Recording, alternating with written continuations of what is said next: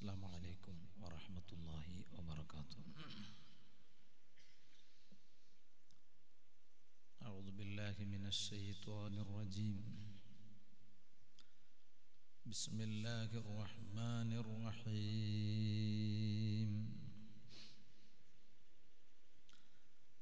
الحمد لله رب العالمين.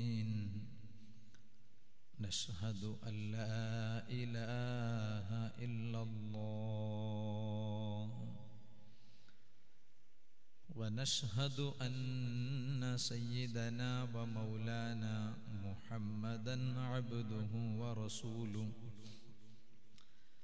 أرسله بالهدى ودين الحق ليظهره على الدين كله. ولو كره المشركون.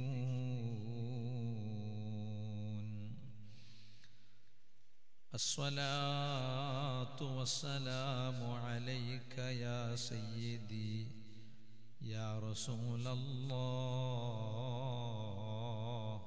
صلى الله عليه وسلم.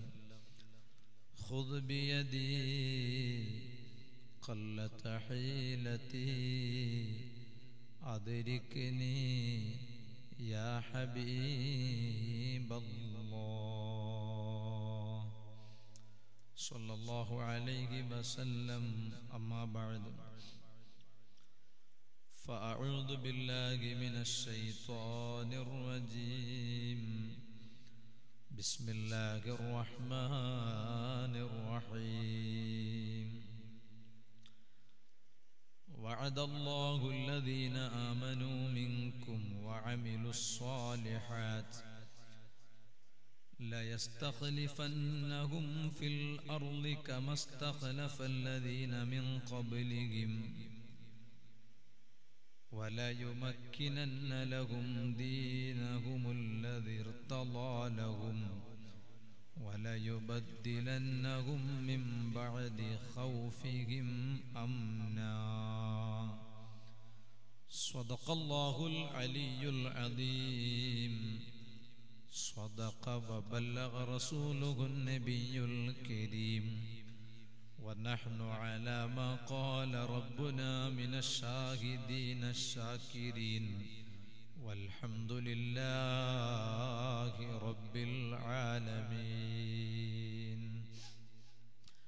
يا رحمة الله إني خائف وجل يا نعمة الله إني مفلس عاني. وليس لي عمل ألقى العليم به.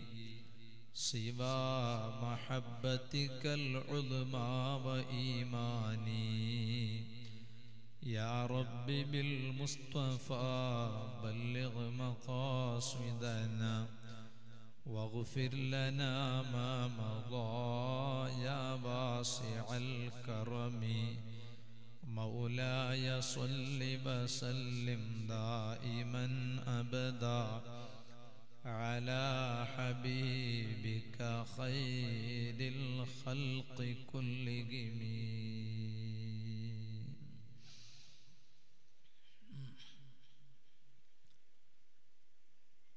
സർവാദരണീയരായ നമ്മുടെ ഇന്നത്തെ ഈ പരിപാടിയെ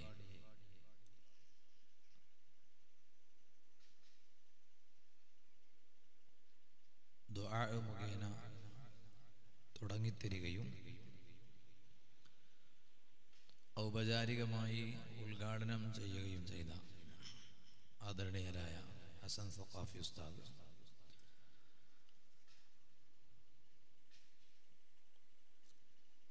നീണ്ട വർഷക്കാലം ഈ പള്ളിമജലിലെ ആത്മീയ പ്രവർത്തനങ്ങൾക്ക് നേതൃത്വം നൽകിയിരുന്ന പ്രിയങ്കരരായ സുഹരി ഉസ്താദ് നിലവിൽ ഇവിടെ ദീനീ പ്രവർത്തനങ്ങൾക്ക് നേതൃത്വം നൽകിക്കൊണ്ടിരിക്കുന്ന അഷ്റഫ് ജൗഹരി ഉൾപ്പെടെയുള്ള ഉസ്താദുമാർ പ്രസിഡന്റ് സെക്രട്ടറിമാർ ഉൾപ്പെടെയുള്ള മുഴുവൻ ഇവിടത്തെ ഉത്തരവാദിത്വപ്പെട്ട മഹൽ വ്യക്തിത്വങ്ങൾ നേതാക്കൾ വേദിയിലുള്ള ഉമറാക്കൾ പ്രാസ്ഥാനിക രംഗത്തുള്ള നേതാക്കൾ പ്രവർത്തകർ ശബ്ദം ശ്രവിക്കുന്ന നല്ലവരായ നാട്ടുകാർ മോമിനിയങ്ങൾ ഉമ്മ പെങ്ങന്മാർ നമ്മുടെ ഈ പരിപാടിയെ ലൈവായി വീക്ഷിച്ചു കൊണ്ടിരിക്കുന്ന മുഴുവൻ പ്രവാസികളും അല്ലാത്തവരുമായ മഹബീങ്ങൾ.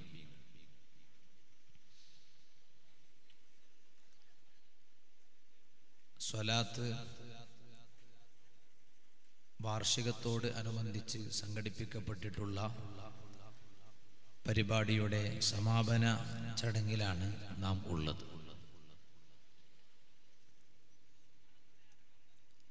പള്ളിമജലിനെ സംബന്ധിച്ചിടത്തോളം ഞാനിത് മൂന്നാമതായിട്ടാണ് ഇവിടെ പ്രഭാഷണത്തിന് വരുന്നത്. ഞാൻ മുത്താലിമായി ഓതിപ്പടിച്ചുകൊണ്ടിരുന്ന സമയം ജാമ്യ മർക്കസു സഖാഫത്തി സുന്നിയയിൽ ഓതിപ്പടിക്കുന്ന സമയം ഞാൻ ഇവിടെ വന്ന് പ്രഭാഷണം നടത്തിയത് ഇപ്പോൾ ഓർക്കുകയാണ്. അതിനുശേഷം സ്വാഗത പ്രഭാഷണത്തിൽ സൂചിപ്പിച്ചതുപോലെ ബൈത്തടുക്കത്ത് സേവനം ചെയ്തിരുന്ന സമയം ഇവിടെ വന്ന് പ്രഭാഷണം നടത്തിയതും ഞാനിപ്പോൾ ഓർക്കുകയാണ്.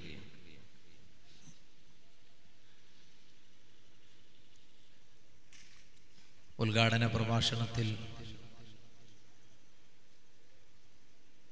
വളരെ പഴയ കാലം മുതൽക്ക് തന്നെ ഇവിടെ പള്ളിയുണ്ടായിരുന്നുവെന്നും പിന്നീട് അതിനെ നവീകരിക്കുകയും ചെയ്തതിനെ തുടർന്നൊക്കെ പ്രസ്താവിച്ചതിൽ നിന്ന് അതുകൊണ്ടായിരിക്കും ഇവിടെ പള്ളി മജൽ എന്നൊരു പേര് തന്നെ വരാനുള്ള കാരണം എന്ന് മനസ്സിലാക്കുകയാണ്. അള്ളാഹു റബ്ബ് സുബാനഹു വതആല ഈ സദസ്സിന്റെ എല്ലാ അർത്ഥത്തിലുള്ള സന്തോഷം നമ്മുടെ ജീവിതത്തിൽ ആസ്വദിക്കാൻ അള്ളാഹു സൗഭാഗ്യം നൽകി അനുഗ്രഹിക്കുമാറാവട്ടെ. ആമീൻ എന്ന് ആമുഖമായി ദുഹാഗ് ചെയ്യുകയാണ്. വർത്തമാന സാഹചര്യത്തിൽ ലോകമെമ്പാടും വലിയ ഭീതിയിലും പേടിയിലും പ്രതിസന്ധിയിലുമാണ്. വിശിഷ്യ വിദേശ രാഷ്ട്രങ്ങളിലുള്ള നമ്മുടെ പ്രവാസി സുഹൃത്തുക്കൾ അവർ നേരിട്ട് കൊണ്ടിരിക്കുന്ന ഓരോ പ്രയാസങ്ങളും ഫോൺ കോൾ മുഖേന മറ്റുമൊക്കെ അറിയിക്കുമ്പോൾ നാം അറിയാതെ കരഞ്ഞു പോവുകയാണ് അവർക്ക് വേണ്ടിയും നമുക്ക് വേണ്ടിയും നമുക്കെല്ലാം ചെയ്യേ ചെയ്യാൻ കഴിയുന്നത് ഇത്തരത്തിലുള്ള നല്ല അനുഗ്രഹീതമായ സദസ്സുകളിൽ ദുആയി ചെയ്യുക എന്നതാണ് അള്ളാഹു തആല ഈ പ്രയാസങ്ങൾ നേരിട്ടുകൊണ്ടിരിക്കുന്ന മുഴുവൻ ആളുകൾക്കും വിശിഷ്യ നമ്മുടെ പ്രവാസി ലോകത്തുള്ള കൂട്ടുകാർ ഉൾപ്പെടെ എല്ലാവരെയും അള്ളാഹു തആല രക്ഷപ്പെടുത്തി തരുമാറാവട്ടെ ആമീൻ എന്ന് ആമുഖമായി ദ്വാഗ് ചെയ്ത്. ആദരണീയരായ ഓലമുണ്ടോ ഉസ്താദിന്റെ നേതൃത്വത്തിൽ ഇവിടെ സ്വലാത്ത് മജ്ലിസും ദ്വാ സംഘമവുമൊക്കെ നടക്കാനിരിപ്പുണ്ട്. ഉസ്താദ് അവരുകൾ ഇവിടെ എത്തിച്ചേരുന്നത് വരെ ഇൻഷാ അള്ളാ അല്പനേരം നമുക്ക് സംസാരിക്കാം.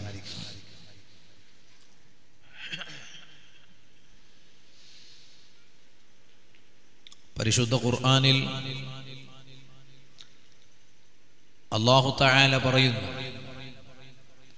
ഇതെന്താ ഇങ്ങനെയൊക്കെ സംഭവിക്കുന്നത്? കാരണം ചരിത്രത്തിൽ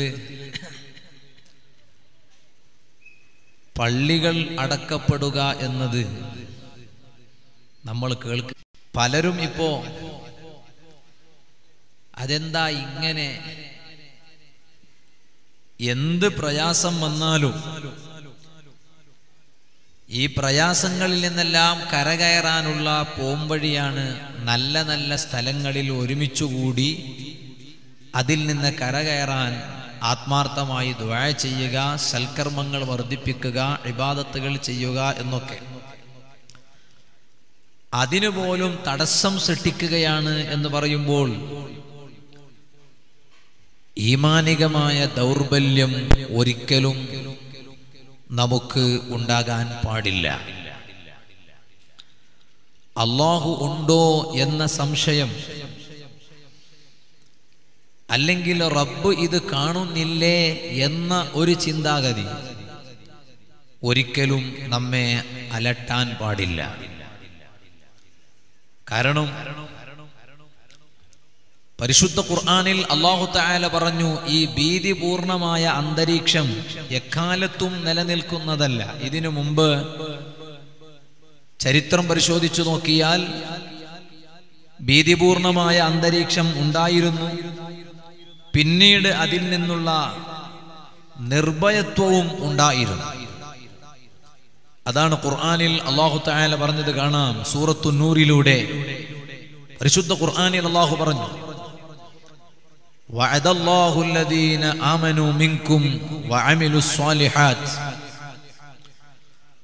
അള്ളാഹുവിൽ പൂർണ്ണമായ വിശ്വാസം സമർപ്പിക്കുകയും സൽക്കർമ്മങ്ങൾ ചെയ്യുകയും ചെയ്തവർ ലയസ്തഖലിഫന്നകും ഫിൽ അർളി കമസ്തഖലഫല്ലദീന മിൻ ഭൂമിയിൽ പ്രതിനിധികളായി നിയമിക്കുക ജനങ്ങൾക്ക് തൃപ്തികരമായ ഒരു മതം പരിശുദ്ധ ഇസ്ലാം.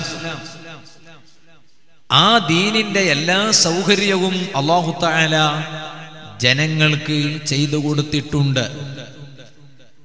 അതനുസരിച്ചുകൊണ്ട് ഇസ്ലാം അംഗീകരിച്ച് ജീവിക്കുന്ന സത്യവിശ്വാസികൾ ആ ദീനിന്റെ നിയമം പഠിക്കുകയും ഉൾക്കൊള്ളുകയും ജീവിതത്തിൽ പകർത്തുകയും ചെയ്ത് ജീവിക്കുന്നവരാണ് വലയുബദ്ദിലന്നഹും മിൻ ബഅദി ഖൗഫിഹിം അംന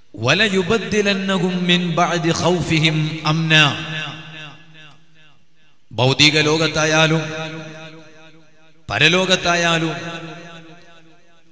ഈ നേരിട്ട് കൊണ്ടിരിക്കുന്ന ഭീതിപൂർണമായ അന്തരീക്ഷത്തിൽ നിന്ന് കരകയറാൻ പിന്നീട് അള്ളാഹു താല ഇതിന് പകരമെന്നോണം ഒരു സമാധാനവും ഒരു സന്തോഷവും അതുപോലെ തന്നെ ഒരു നിർഭയവും അള്ളാഹു താല നൽകും എന്ന് പരിശുദ്ധ ഖുർആാനിൽ അള്ളാഹു താല പറഞ്ഞു. പള്ളികളിൽ നിസ്കാരം വളരെ പെട്ടെന്ന് അവസാനിപ്പിക്കണം എന്ന് നമ്മുടെ നേതാക്കന്മാരൊക്കെ പ്രസ്താവന ഇറക്കുമ്പോൾ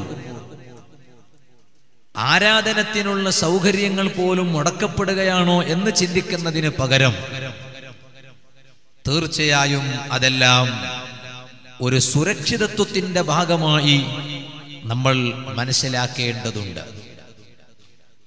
ഇപ്പൊ കാബയുടെ ചാരത്ത് പൊതുവായുള്ള തൊവാഫ് ചെയ്യുന്നതിന് തടസ്സം ഉണ്ടെങ്കിലും നമുക്ക് പോയി പ്രാർത്ഥിക്കേണ്ടുന്ന ഒരു ഇടമാണ് അതുപോലും മുടങ്ങുകയാണല്ലോ എന്ന് ചിന്തിക്കുന്നതിലുപരി. അത് വേണ്ട എന്നല്ല ഞാൻ പറയുന്നത് മറിച്ച് അതൊക്കെ സുരക്ഷിതത്വത്തിന്റെ ഭാഗമായി നമ്മൾ മനസ്സിലാക്കേണ്ടതുണ്ട്. ഇതുപോലെ ആരാധനാ കേന്ദ്രങ്ങൾ അടക്കപ്പെടുമ്പോഴും അത് സുരക്ഷിതത്വത്തിന്റെ ഭാഗമായി നമ്മൾ മനസ്സിലാക്കേണ്ടതുണ്ട്. എന്നാൽ ഈ ഭീതിപൂർണമായ ഒരു അന്തരീക്ഷം അത് എക്കാലത്തും നിലനിന്നു പോകും എന്ന് പറയുന്നതിൽ പകരം അള്ളാഹുത്താല ഖുർആാനിൽ പറഞ്ഞു അതിനുശേഷം ഒരു സമാധാനവും എല്ലാം നിങ്ങൾക്ക് ഉണ്ടാകും. സുരക്ഷിതത്വം എന്നത് എക്കാലത്തും ഉണ്ടായതാണ്. ഇന്നുള്ള ഈ രോഗമായാലും മറ്റ് ഏത് രോഗങ്ങളായാലും അത് എക്കാലത്തും ഉണ്ടായതാണ്. ഇതിനു മുമ്പ് പലതും അങ്ങനെ നേരിട്ടിട്ടുണ്ട്. സത്യവിശ്വാസികളെ സംബന്ധിച്ചിടത്തോളം അവരെപ്പോഴും ചിന്തിക്കേണ്ടത് ഏത് രോഗം വന്നാലും അതിന് പകരം അള്ളാഹുവിൽ നിന്ന് വലിയ പ്രതിഫലം ഉണ്ട് എന്നാണ്. അതുകൊണ്ട് നിങ്ങൾ നോക്ക്. സയ്യിദത്തുന ബീവി ആയിഷ റളിയല്ലാഹു അൻഹ. ആയിഷ ബീവി റളിയല്ലാഹു അൻഹ ഒരിക്കൽ നബി സല്ലല്ലാഹു അലൈഹി വസല്ലമ തങ്ങളോട് മുൻകാലങ്ങളിൽ ഉണ്ടായിരുന്ന ത്വാഴൂൻ എന്ന രോഗത്തെക്കുറിച്ച് ചോദിച്ചു. ചോദിച്ചപ്പോൾ ആയിഷ റളിയല്ലാഹു അൻഹയോട് നബി സല്ലല്ലാഹു അലൈഹി വസല്ലമ നിങ്ങൾ പറഞ്ഞു അന്നഹു കാന അദാബൻ അലാ മൻ യശാ. ആ രോഗം അള്ളാഹുത്തായാല ഉദ്ദേശിച്ചവർക്ക് അള്ളാഹുത്തായാല പറഞ്ഞയക്കുന്ന ശിക്ഷയാണ്. എന്നാൽ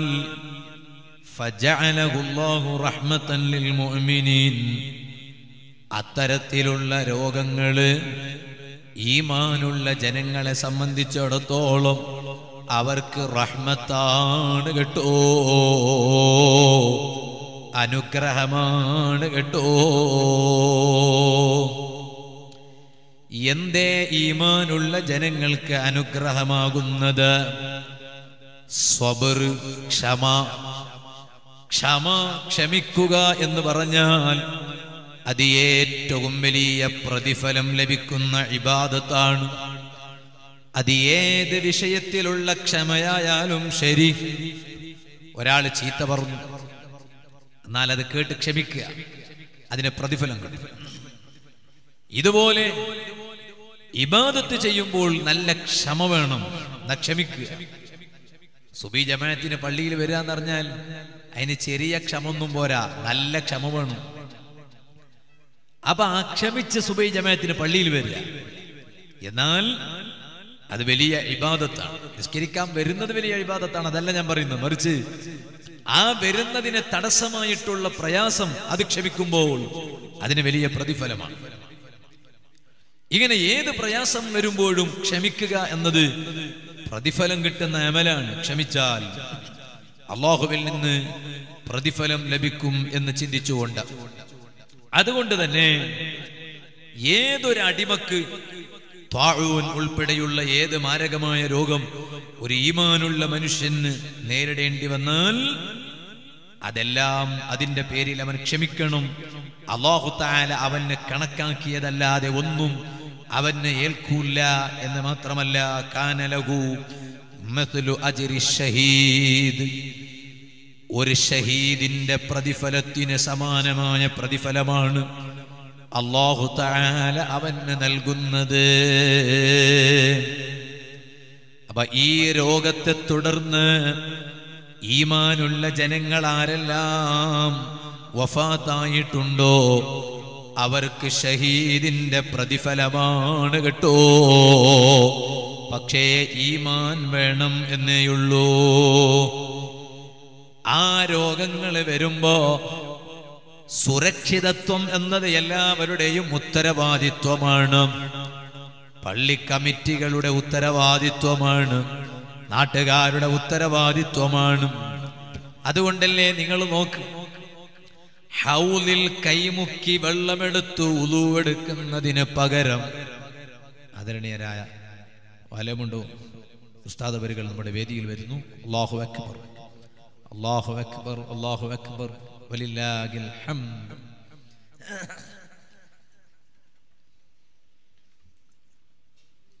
ഉസ്താദ് ഇപ്പൊ തന്നെ സ്റ്റേജിൽ ഇരിക്കണം. വന്ന്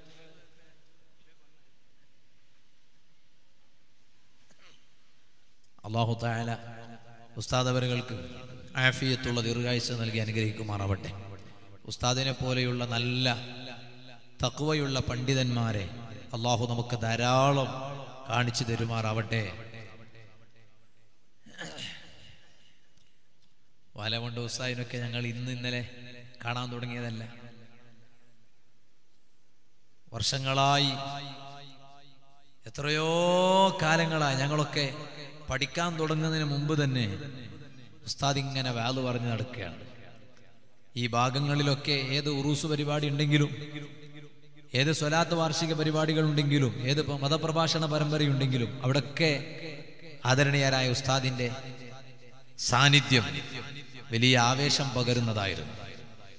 അള്ളാഹു താല ഉസ്താദവരുകൾക്ക് ആഫിയത്തും ഹിമ്മത്തും വർദ്ധിപ്പിക്കുമാറാവട്ടെ എന്ന് ആകെ ചെയ്യും.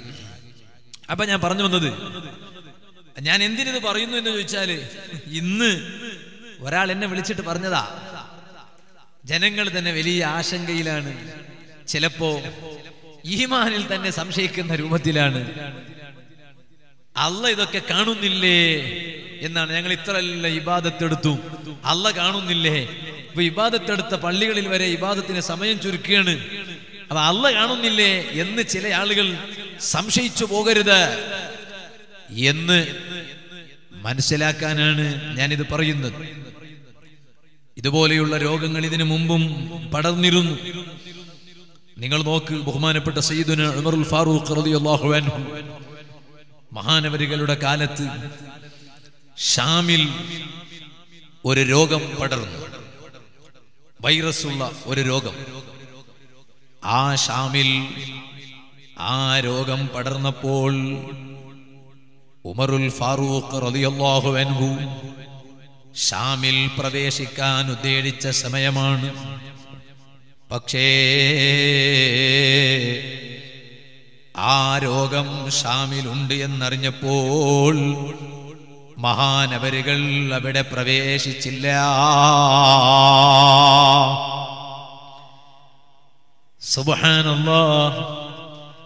അപ്പോ അബൂ മഹാനവരുകൾ ഉമർ ഇബ്നുൽ ഖത്താബ് ചോദിച്ചു അഫിറാറം മിൻ ഖദരില്ലാ ഓ ഉമറുൽ ഫാറൂഖ് തങ്ങളെ ഷാമിൽ നിങ്ങൾ പ്രവേശിക്കാൻ ഉദ്ദേശിച്ചതാണ്. പക്ഷേ ആ ഷാമിൽ വബ എന്ന രോഗം പടർന്നു എന്നറിഞ്ഞപ്പോൾ നിങ്ങൾ ആ ഷാമിൽ പ്രവേശിക്കുന്നതിൽ നിന്ന് മാറി നിന്നല്ലോ. അല്ലാഹുവിന്റെ കലായിൽ നിന്ന് അല്ലാഹുവിന്റെ കതറിൽ നിന്ന് ഓടാൻ നോക്കിയതാണോ?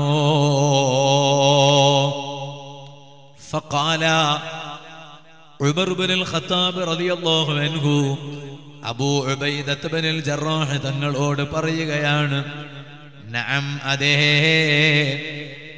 ഓടിയത് എവിടുന്നാണ്? നഫിറു മിൻ ഖദറില്ലാഹി ഇലാ ഖദറില്ലാ. അള്ളാഹുവിന്റെ ഒരു കതറിൽ നിന്ന് മറ്റൊരു കതറിലേക്ക് ഓടിപ്പോയതാണ്. അങ്ങനെ ഒരു നാട്ടിൽ ശക്തമായ ഒരു രോഗമുണ്ടായാൽ ആ നാട്ടിൽ പോകാതിരിക്കുക എന്നത് പടച്ചറബിന്റെ കതറിൽ നിന്ന് രക്ഷപ്പെടാൻ നോക്കുകയല്ല എന്ന് അബൂ ഉബൈദത്ത് ജറാഹ് തങ്ങളെ ഉമറുൽ ഫാറൂഖ് റളിയല്ലാഹു അൻഹു പറഞ്ഞു ബോധ്യപ്പെടുത്തി. തിരുത്തുകയാണ്. സുഹൃത്തുക്കളെ നബി സല്ലല്ലാഹു അലൈഹി വസല്ലമ തങ്ങളുടെ പ്രസ്താവനകൾക്ക് എക്കാലത്തും വലിയ വിലയാണ്. ആ പ്രസ്താവനകൾക്ക് ഒന്നും മൂല്യം കുറയില്ല. കാലം എത്ര പുരോഗമിച്ചാലും ഇതുപോലെ തന്നെ ഐ ടി ലെവലിൽ എത്ര വികസിച്ചാലും നബി സല്ലല്ലാഹു അലൈഹി വസല്ലമ തങ്ങളുടെ പ്രസ്താവനകൾക്ക് മൂല്യം ഒട്ടും കുറയില്ല. അവിടുന്ന് പഠിപ്പിച്ചതല്ലേ? ഒരു രോഗം ശക്തമായ ഒരു രോഗം വന്നാൽ ആ രോഗം ഉള്ള നാട്ടിലേക്ക് നിങ്ങൾ പ്രവേശിക്കരുത്. ആ രോഗമുള്ള നാട്ടിലേക്ക് നിങ്ങൾ അപ്പുറം പോകരുത്. രണ്ടാമതായി പറഞ്ഞു നിങ്ങളൊരു നാട്ടിൽ ഉള്ള നാട്ടിലാണ് ആ രോഗം പിടികൂടുന്നതെങ്കിൽ അവിടുന്ന് നിങ്ങൾ വേറെ നാട്ടിലേക്ക് പോവുകയും ചെയ്യരുത്. നബി സല്ലല്ലാഹു അലൈഹി വസല്ലം നിങ്ങൾ പറഞ്ഞതാണ് ഇന്നിപ്പോ ഇന്നിപ്പോ എയർപോർട്ടിൽ നിന്ന് ഇറങ്ങുമ്പോൾ എയർപോർട്ടിൽ നിന്ന് ചെക്കിംഗ് ആണ് ഞാനിപ്പോ ഇവിടെ വന്നപ്പോ ഭക്ഷണം കഴിക്കുന്ന വീട്ടിൽ നമ്മളൊരു സുഹൃത്തിനെ കണ്ടു. ഈ വന്നതാ. അപ്പൊ ആ സുഹൃത്തും പറഞ്ഞു ചെക്കിംഗ് ചെയ്തിട്ട് അയച്ചതാണ്. എല്ലായിടത്തും ചെക്കിംഗ് ആണ്. അവിടെ നിന്ന് ഇങ്ങോട്ട് വരുന്ന ആളുകളെ ചെക്കിംഗ് ആണ്. മലപ്പുറത്ത് രണ്ട് സ്ത്രീകൾ ഈ രോഗമുള്ളതായി സ്ഥിരീകരിച്ചു. നോക്കുമ്പോൾ ഉമ്ര കഴിഞ്ഞു വന്ന സ്ത്രീകളാണ് കാസർഗോഡും ഒരു വ്യക്തിയെ ഈ രോഗമുള്ളതായി സ്ഥിരീകരിച്ചു. നോക്കുമ്പോൾ ഗൾഫിൽ നിന്ന് വന്നതാണ്. നബിസല്ലാഹു അലഹി വസ്ല്ലമ തങ്ങളുടെ പ്രസ്താവന. നിങ്ങൾ നോക്ക് ഇന്ന് ഭൗതികമായ ഇൻസ്ട്രുമെന്റ്സും ഭൗതികമായ ഉപകരണങ്ങളൊക്കെ മുന്നിൽ വെച്ചിട്ടാണ് ശാസ്ത്ര ലോകം പറയുന്നതെങ്കിൽ ഇതൊന്നുമില്ലാത്ത നബി സല്ലാ അലൈഹി വസല്ലമ തങ്ങളെ കാലത്ത് നബി സല്ലല്ലാഹു പറഞ്ഞു ഒരു രോഗം ഉള്ള ആ അതുപോലെയുള്ള രോഗമുള്ള സ്ഥലത്തേക്ക് നിങ്ങൾ അപ്പുറം പോകരുത്. അതേസമയം നിങ്ങൾ ഉള്ള സ്ഥലത്താണ് രോഗമുള്ളതെങ്കിൽ ആ നാട് വിട്ട് നിങ്ങൾ വേറെ സ്ഥലത്തേക്ക് പോകാനും പാടില്ല. എന്ന് നബി സല്ലാ അലൈഹി തങ്ങൾ പഠിപ്പിച്ച ആ പ്രസ്താവന ഇന്ന് എത്ര വലിയ മൂല്യമുള്ളതാണ് നിലയുള്ളതാണ്. അപ്പൊ ഞാൻ പറഞ്ഞു വന്നത് അങ്ങനെ ഒരു രോഗമുണ്ടായപ്പോ ഷാമിലേക്ക് ഉമറുൽ ഫാറൂഖ് തങ്ങൾ പ്രവേശിക്കാൻ കൂട്ടാക്കിയില്ല. എന്താ കാരണം? രോഗം പടരുമെന്ന് പേടിച്ചിട്ടല്ല. അള്ളാഹുവിന്റെ തീരുമാനം ആ രോഗം ഇങ്ങോട്ട് ഏൽക്കൂല എങ്കിൽ ഒരിക്കലും ഏൽക്കൂല അതേ സമയത്ത് അള്ളാഹുവിന്റെ തീരുമാനം ആ രോഗം അവിടെ നിന്ന് ഇങ്ങോട്ട് ഏൽക്കണമെങ്കിൽ അത് ഏൽക്കും ചെയ്യും. രോഗത്തിന് സ്വന്തമായി പകരാനുള്ള കഴിവുണ്ടായിട്ടല്ല. മറിച്ച് കഴിവുള്ളവനാണ് അള്ളാഹു റബ് അപ്പൊ ഞാൻ പറഞ്ഞു വന്നത് സത്യവിശ്വാസികളെ സംബന്ധിച്ചിടത്തോളം ആ സത്യവിശ്വാസികൾ ഇതിൽ നിന്നെല്ലാം കാവൽ ചോദിക്കുന്നവർ ആകണം. അതിന് ധാരാളം വഴികൾ പരിശുദ്ധ ഇസ്ലാം പഠിപ്പിച്ചിട്ടുണ്ട്. ഒരുപാട് വഴികൾ ഇസ്ലാം പഠിപ്പിച്ചിട്ടുണ്ട്. ആ വഴികൾ പഠിപ്പിച്ച കൂട്ടത്തിൽ മഹാന്മാരായ പണ്ഡിതന്മാർ പറഞ്ഞു സുബാനല്ലാ അമ്രുബനൽ ആസ് റളിയല്ലാഹു അൻഹുവിന്റെ കാലത്ത് ഒരു ത്വാഴൂന രോഗം എല്ലാവരെയും പിടികൂടി. ഞാനിത് പറയാൻ കാരണം എല്ലാവരും ഇപ്പൊ വലിയ പേടിയില്ല ഇനി നമുക്ക് പരിപാടിയൊന്നും വേണ്ട. പ്രവർത്തനങ്ങളൊക്കെ കുറക്കുക കാരണം ഇനി ലോകമൊക്കെ നാശത്തേക്ക് പോയിക്കൊണ്ടിരിക്കുകയാണ് എന്ന്. അങ്ങനെ ആരും പേടിക്കേണ്ടതില്ല. കാരണം ഇത് ചരിത്രത്തിൽ ആദ്യമായിട്ടൊന്നുമല്ല. ചിലപ്പോ ഇങ്ങനെ ഈ രൂപത്തിൽ ചിലപ്പോൾ ആദ്യമായിട്ടാണെങ്കിലും ഇതിനു മുമ്പ് സ്വഹാബത്തിന്റെ കാലത്ത് വരെ സംഭവിച്ചിട്ടുണ്ട് എന്നാണ് ഞാനിത് പറയുന്നത്.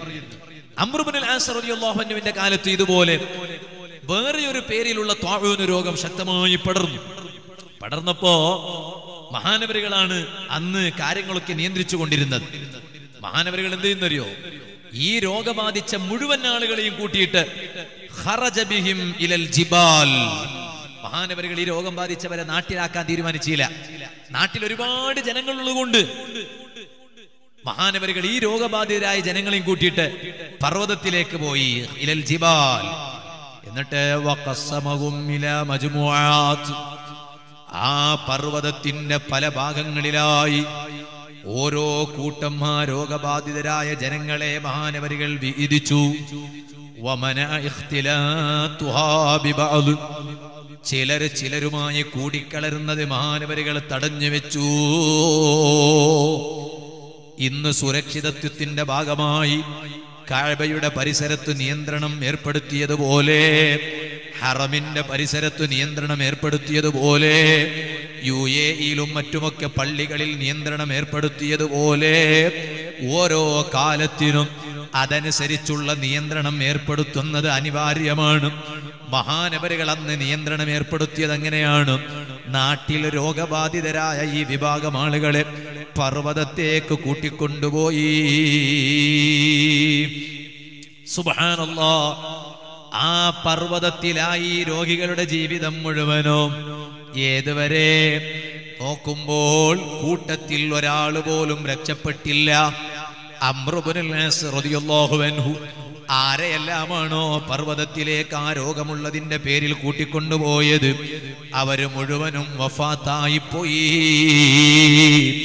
ഷഹീദായി പോയി ആ രോഗബാധിത രീമാനുള്ളവരാണെങ്കിൽ അതിനെ തുടർന്നവർ മരിച്ചാൽ അവർക്ക് ഷഹീദിന്റെ പ്രതിഫലമുണ്ട്.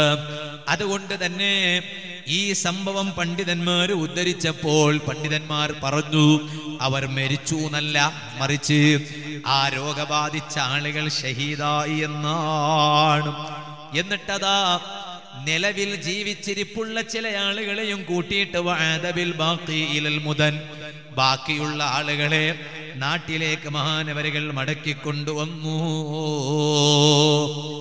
അപ്പൊ ഞാൻ പറഞ്ഞു വന്നത് ഇത് ചരിത്രത്തിൽ ആദ്യമായിട്ടൊന്നുമല്ല ഇങ്ങനെയൊന്ന് പടരുന്നത്. ഇതിനു മുമ്പുണ്ടായിട്ടുണ്ട് കൊറോണ. കൊറോണ എന്ന പേരുള്ള ഈ രോഗം തന്നെ ഇതിനു മുമ്പ് ആയിരത്തി തൊള്ളായിരത്തി മുപ്പത് ഏകദേശം ആ സമയത്ത് ഉണ്ടായിട്ടുണ്ടെന്നാണ് അതുകൊണ്ടാണ് ഇപ്പൊ ഈ അടുത്ത് വാട്സപ്പുകളിലൊക്കെ ഫുള്ളായിട്ട് മെസ്സേജ് കണ്ടിരുന്നു എത്ര ആളുകളാ ഇങ്ങനെ വിളിക്കുന്ന ഗൾഫ് എന്നൊക്കെ ഉസ്താദെ ഹദീസിൽ തന്നെ ഉണ്ട് എന്ന് കിതാബിലൊക്കെ കാണുന്നുണ്ടല്ലോ. കൊറോണ എന്ന രോഗം അവസാന കാലം വരുമ്പോ വരും എന്നൊക്കെ എന്ന് പറഞ്ഞിട്ട് ഒരു ആധുനിക പണ്ഡിതൻ രചിച്ച ഒരു കിതാബിന്റെ ഒരു ഭാഗം ഇങ്ങനെ വാട്സപ്പിലൊക്കെ ഷെയർ ചെയ്യപ്പെട്ടു. സത്യത്തിൽ അത് ഹദീസൊന്നുമല്ല. മറിച്ച് കയ്യാമത്ത് നാൾ അടുക്കുമ്പോൾ രോഗങ്ങൾ വ്യാപിക്കും എന്നത് ഹദീസുകളിലൊക്കെ ഉള്ളതാണ്. ആ ഹദീസിന്റെ കൂട്ടത്തിൽ ഈ ആധുനിക പണ്ഡിതൻ ഒരു കിതാബ് രചിച്ചപ്പോൾ അദ്ദേഹത്തിന് പരിചയമുള്ള നിലവിലുള്ള രോഗങ്ങളെ പേരിങ്ങനെ എണ്ണിപ്പറഞ്ഞു പിന്നെ അദ്ദേഹം ആയിരത്തി തൊള്ളായിരത്തി മുപ്പതുകൾക്ക് ശേഷം നിലവിൽ വന്ന ഈ കൊറോണ എന്ന രോഗമുള്ള ഈ രോഗം അത് പിന്നീട് വന്നപ്പോൾ ആ രോഗവും കൂടി പുതിയ എഡിഷനിൽ അദ്ദേഹം ചേർത്തി വെച്ചു എന്ന്. അല്ലാതെ ഹദീസിൽ കൊറോണ എന്ന പേര് ഇല്ല എന്ന് സാന്ദർഭികമായി ഓർമ്മപ്പെടുത്തും. വേറെ ചില വിവരമില്ലാത്ത ആളുകൾ ഈ അടുത്ത് വാട്സപ്പിൽ മെസ്സേജ് വന്നു. യാസീൻ സൂറത്ത് തുറന്നു നോക്കിയാൽ മുടി കാണാം. ആ മുടി മുക്കിയ വെള്ളം കുടിച്ചാൽ ഈ രോഗം മാറുമെന്ന് പറഞ്ഞു. ഇങ്ങനെ തോന്നിയതെല്ലാം വാട്സപ്പുകളിൽ ഷെയർ ചെയ്യപ്പെടുന്ന കാലമാണ്. നമ്മൾ സത്യം എന്താണ് അസത്യം എന്താണ് എന്ന് മനസ്സിലാക്കാതെ വെറുതെ അതിന്റെ പിന്നിൽ പോകാൻ പാടില്ല എന്ന് സാന്ദർഭികമായി ഓർമ്മപ്പെടുത്തുന്നു. പക്ഷേ ഇത്തരത്തിലുള്ള പ്രയാസങ്ങളിൽ നിന്നെല്ലാം രക്ഷപ്പെടാൻ നല്ല വഴി ഇസ്ലാം പഠിപ്പിച്ചിട്ടുണ്ട്. ആ കൂട്ടത്തിൽ ഞാൻ ഈ സദസ്സിലുള്ള മുഴുവൻ ആളുകളോടും പറയാണ് വിശിഷ്യ എന്റെ സംസാരം കേൾക്കുന്ന ഈമാനുള്ള ഉമ്മ പെങ്ങന്മാരോട് പറയട്ടെ.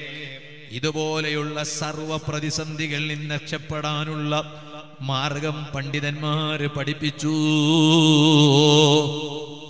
സുബഹിയാകുമ്പോ നിങ്ങളൊരു മൂന്ന് പ്രാവശ്യം ബിസ്മില്ലാഹിൽ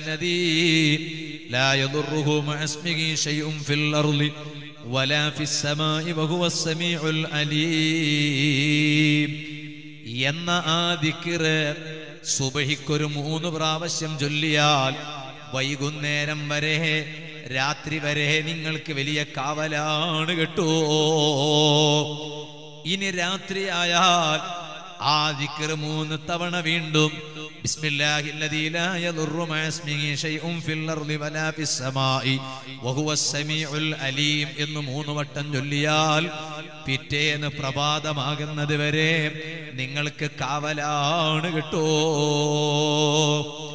ഇതുപോലെ തന്നെ പണ്ഡിതന്മാര് വീണ്ടും പഠിപ്പിക്കുകയാണ്. അതേ പ്രഭാത സമയത്തും വൈകുന്നേരവും മൂന്ന് സൂറത്ത് മൂന്ന് പ്രാവശ്യം പാരായണം ചെയ്താൽ അവന് ഒരു പ്രയാസവും ജീവിതത്തിൽ ഉണ്ടാകൂല. അവനെ പേടിപ്പിക്കുന്ന ഒരു കാര്യവും ഉണ്ടാകൂല. ഏതാണ് ആ മൂന്ന് സൂറത്ത്? ഒന്ന് സൂറത്തുൽ ഇഖ്ലാസ്. അത് മൂന്ന് പ്രാവശ്യം. മറ്റേ രണ്ട് സൂറത്തുകൾ ഏതാണ്? ഖുൽ അഊദു ഫലഖ്. ഖുൽ അഊദു നാസ്. ഈ മൂന്ന് സൂറത്തുകൾ മൂന്ന് പ്രാവശ്യം വീതം. അതേ പ്രഭാത സമയത്തും വൈകുന്നേരവും മുമ്മൂന്ന് പ്രാവശ്യം ചൊല്ലി ഓതിയാൽ ഒരു പേടിപ്പിക്കുന്ന ഒരു കാര്യവും അവന്റെ ജീവിതത്തിൽ ഉണ്ടാകൂല ഇതുപോലെ തന്നെ ലാ ഇലാഹ ഇല്ലാ അന്ത. സുബ്ഹാനക ഇന്നി കുന്തു മിനൽ ളാലിമീൻ. എന്ന ദിക്റ ഖുർആനിലെ ആയത്താണ് ദിക്റാണ്. ആ ആയത്ത് എത്ര കണ്ട് ഉരുവിടാൻ കഴിയുന്നുണ്ടോ അത്ര കണ്ട് ഓതിയിട്ട് നിങ്ങൾ ദുആ ചെയ്താൽ ആ ദുആക്ക് ഇജാബത്ത് ഉറപ്പാണ് കേട്ടോ. പണ്ഡിതന്മാര് പഠിപ്പിക്കുകയാണ്. സുഹൃത്തുക്കളെ സത്യവിശ്വാസികളെ സംബന്ധിച്ചിടത്തോളം അവർക്ക് ഏത് പ്രയാസം നേരിടേണ്ടി വന്നാലും അതിനെല്ലാം അവർക്ക് വലിയ പ്രതിഫലമാണ്. എല്ലാം വലിയ പ്രതിഫലമാണ്. നിങ്ങൾ നോക്ക് ഇവിടെ പ്രയാസം നേരിടാത്തവർ ആരാണ്? എല്ലാ അമ്പിയാക്കളും പ്രയാസം നേരിട്ടിട്ടുണ്ട്. ഔലിയാക്കളെല്ലാം പ്രയാസങ്ങൾ നേരിട്ടിട്ടുണ്ട്. അയ്യൂബ് നബി അലഹിസലാമിന് ശക്തമായ രോഗം ബാധിച്ചു. അയ്യൂബ് നബി അലഹിസലാം അതിനെ തരണം ചെയ്തത് ക്ഷമ കൊണ്ടാണ് സ്വബറു കൊണ്ടാണ്. ലോക നേതാവായ അഷ്റഫുൽ ഖൽക്ക് മുഹമ്മദുർ റസൂലുള്ളാഹി അലൈഹി വസല്ലം തങ്ങളുടെ വഫാത്തിന് കാരണമായിട്ടുള്ള പനി. അതൊരു സാധാരണ പനിയല്ല. നമ്മൾ ഇവിടെ ആലോചിക്കണം. എന്റെ അള്ളാഹു ഞങ്ങളെ കാണുന്നില്ലേ എന്നല്ല നമ്മൾ ചിന്തിക്കേണ്ടത്. ഏറ്റവും വലിയ നേതാവല്ലേ സുഹൃത്തുക്കളെ അഷറഫുൽ ഖൽക്ക് മുഹമ്മദ് റസൂലുള്ളാഹി സല്ലല്ലാഹു അലൈഹി വസല്ലം. ആ തങ്ങളെ പേരിലല്ലേ ഞങ്ങൾ എല്ലാവരും ഈ പള്ളി മജൽ പള്ളി പരിസരത്ത് ഒരുമിച്ച് കൂടിയിട്ടുള്ളത്. എന്നാൽ നബി സല്ലല്ലാഹു അലൈഹി വസല്ലം തങ്ങളുടെ വഫാത്തിന് കാരണമായിട്ടുള്ള പനി. അതൊരു സാധാരണ പനിയായിരുന്നു. ഇല്ല. ആ പനിയെ സംബന്ധിച്ച് പറയുന്നത് തന്നെ നബി സല്ലല്ലാഹു അലൈഹി വസല്ലമ തങ്ങളുടെ വഫാത്തിന് കാരണമായിട്ടുള്ള പനി. അതൊരു സാധാരണ പനിയല്ല കാന. കമാ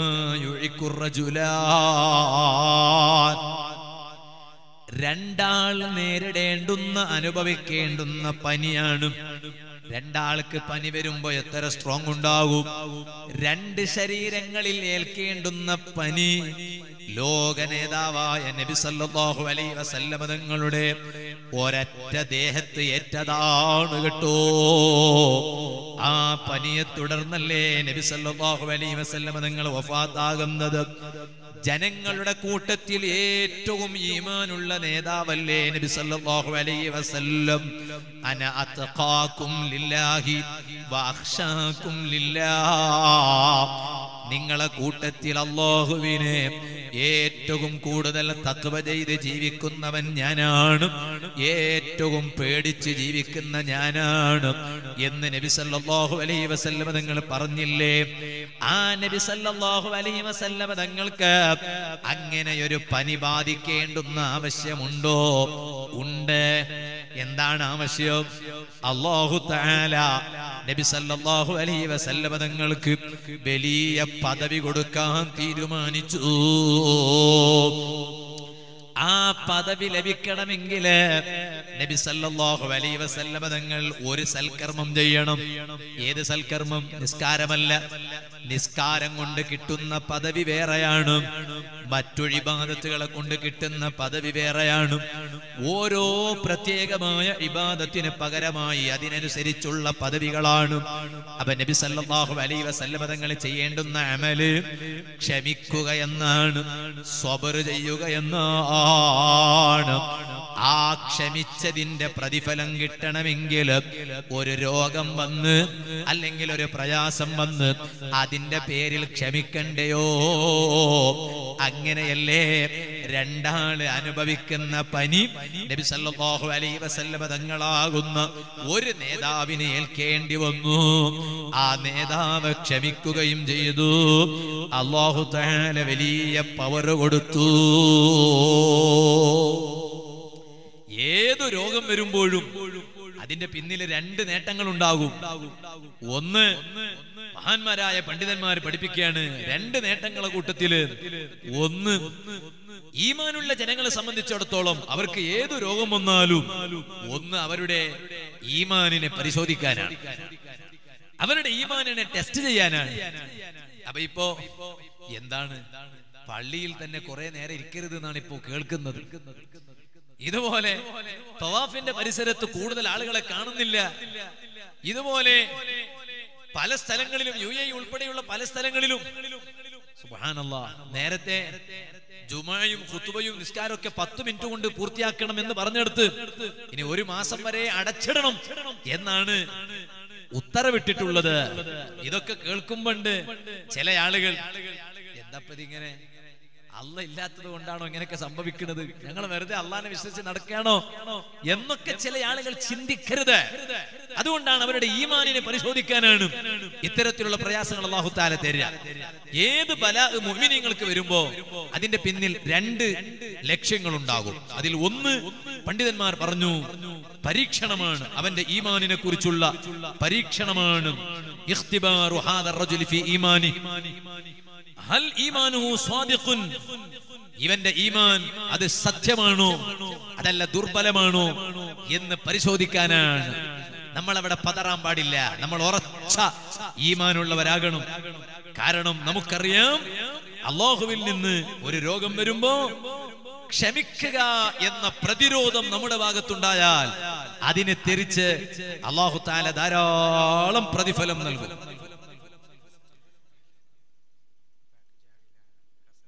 ആണോ എന്നാ അതിനെ അതിനേക്കാളും നല്ലത് ആ ഇവിടെ ഫ്രണ്ടിൽ കൊണ്ടുവന്ന് വെക്കലല്ലേ? ഇവിടെ ഫ്രണ്ടിൽ കൊണ്ടുവന്ന് വെക്കാം. എന്നാ പിന്നെ ഇവരാരും എണിക്കണ്ട. അല്ലെങ്കിൽ സദസ്സൊക്കെ അലങ്കോല. അപ്പൊ ബാക്കിലുള്ള കസേരയുടെ ഫ്രണ്ടിൽ കൊണ്ടുവന്നിരുന്നാ ഇവിടെ ഫ്രണ്ടിൽ. അപ്പോ അപ്പൊ ഞാൻ പറഞ്ഞു വന്നത് അതിന് നല്ല പ്രതിഫലം കിട്ടും ക്ഷമിച്ചാലുള്ള പ്രതിഫലമാണ് അതുകൊണ്ടാണ് ഈമാനുള്ള ജനങ്ങൾക്ക് അള്ളാഹു താല അത്തരത്തിലുള്ള രോഗം നൽകുന്നത് എന്ന് മഹാന്മാരായ പണ്ഡിതന്മാർ പറഞ്ഞു ഖുർആനിൽ അള്ളാഹു താല പറഞ്ഞു ولنبلونكم بشيء من الخوف والجوع ونقص من الأموال والأنفس والثمرات وبشر الصابرين ഓ നിങ്ങളെ ഞാൻ പരീക്ഷിക്കും പല രൂപത്തിലും പരീക്ഷിക്കും ഒന്ന് ബിശൈഇം മിനൽ ഖൗഫി നിങ്ങൾക്ക് ഞാൻ പേടിയിട്ട് തരും നിങ്ങളെല്ലാവരും പേടിക്കാൻ തുടങ്ങും കണ്ടില്ലേ ഇപ്പൊ പേടിയാണ് എല്ലാവരുടെ മനസ്സിൽ പേടിയാണ് ആ പേടി ഞാൻ നിങ്ങൾക്ക് ഇട്ട് തരും. സുബാനല്ലാ ഈ അടുത്തൊരു ചെറുപ്പക്കാരൻ എന്നോട് പറഞ്ഞു നെഞ്ചുവേദന ഉണ്ട് ഉസ്താദെ. ഈ നെഞ്ചുവേദന ഉണ്ടായത് കൊണ്ട് സഴുതിന്ന് ദമാമെന്നൊരു ചെറുപ്പക്കാരൻ എന്നോട് പറയാ നെഞ്ചുവേദന ഉണ്ട് അത് വായു പിടിച്ചിട്ടായിരിക്കും. പക്ഷെ ഈ നെഞ്ചുവേദന ഉള്ളത് കൊണ്ട് ഡോക്ടറിനെ കാണിക്കാൻ പോകാൻ ഒരു പേടിയാണ്.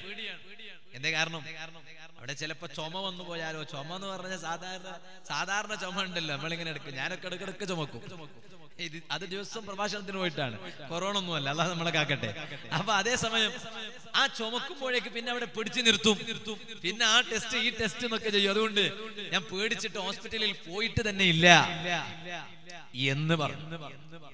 ഈ പിന്നിൽ നിൽക്കുന്ന ആളുകൾ കസേര ഇല്ലാത്തതിന്റെ പേരിലാണെങ്കിൽ ഇവിടുത്തെ ഉത്തരവാദിത്തപ്പെട്ട ആളാണെങ്കിൽ സാരല്ല കസേര ഇല്ലാത്തതിന്റെ പേരിലാണെങ്കിൽ ഇത് മുന്നിൽ കസേര ഉണ്ട് നിങ്ങൾക്ക് കൂടുതൽ പ്രതിഫലം മുന്നിലിരിക്കുമ്പോഴാണ് കിട്ടുക എന്ന് സാന്ദർഭികമായി ഓർമ്മപ്പെടുത്ത ഇനിയിപ്പോ ആരും വന്ന് ഇരുന്നില്ലെങ്കിൽ അത് വി ഐ പികൾക്ക് വേണ്ടി വെച്ച കസേര എന്ന് മനസ്സിലാക്കിക്കോളി. ലൈവ് കാണുന്ന ആളുകളൊക്കെ.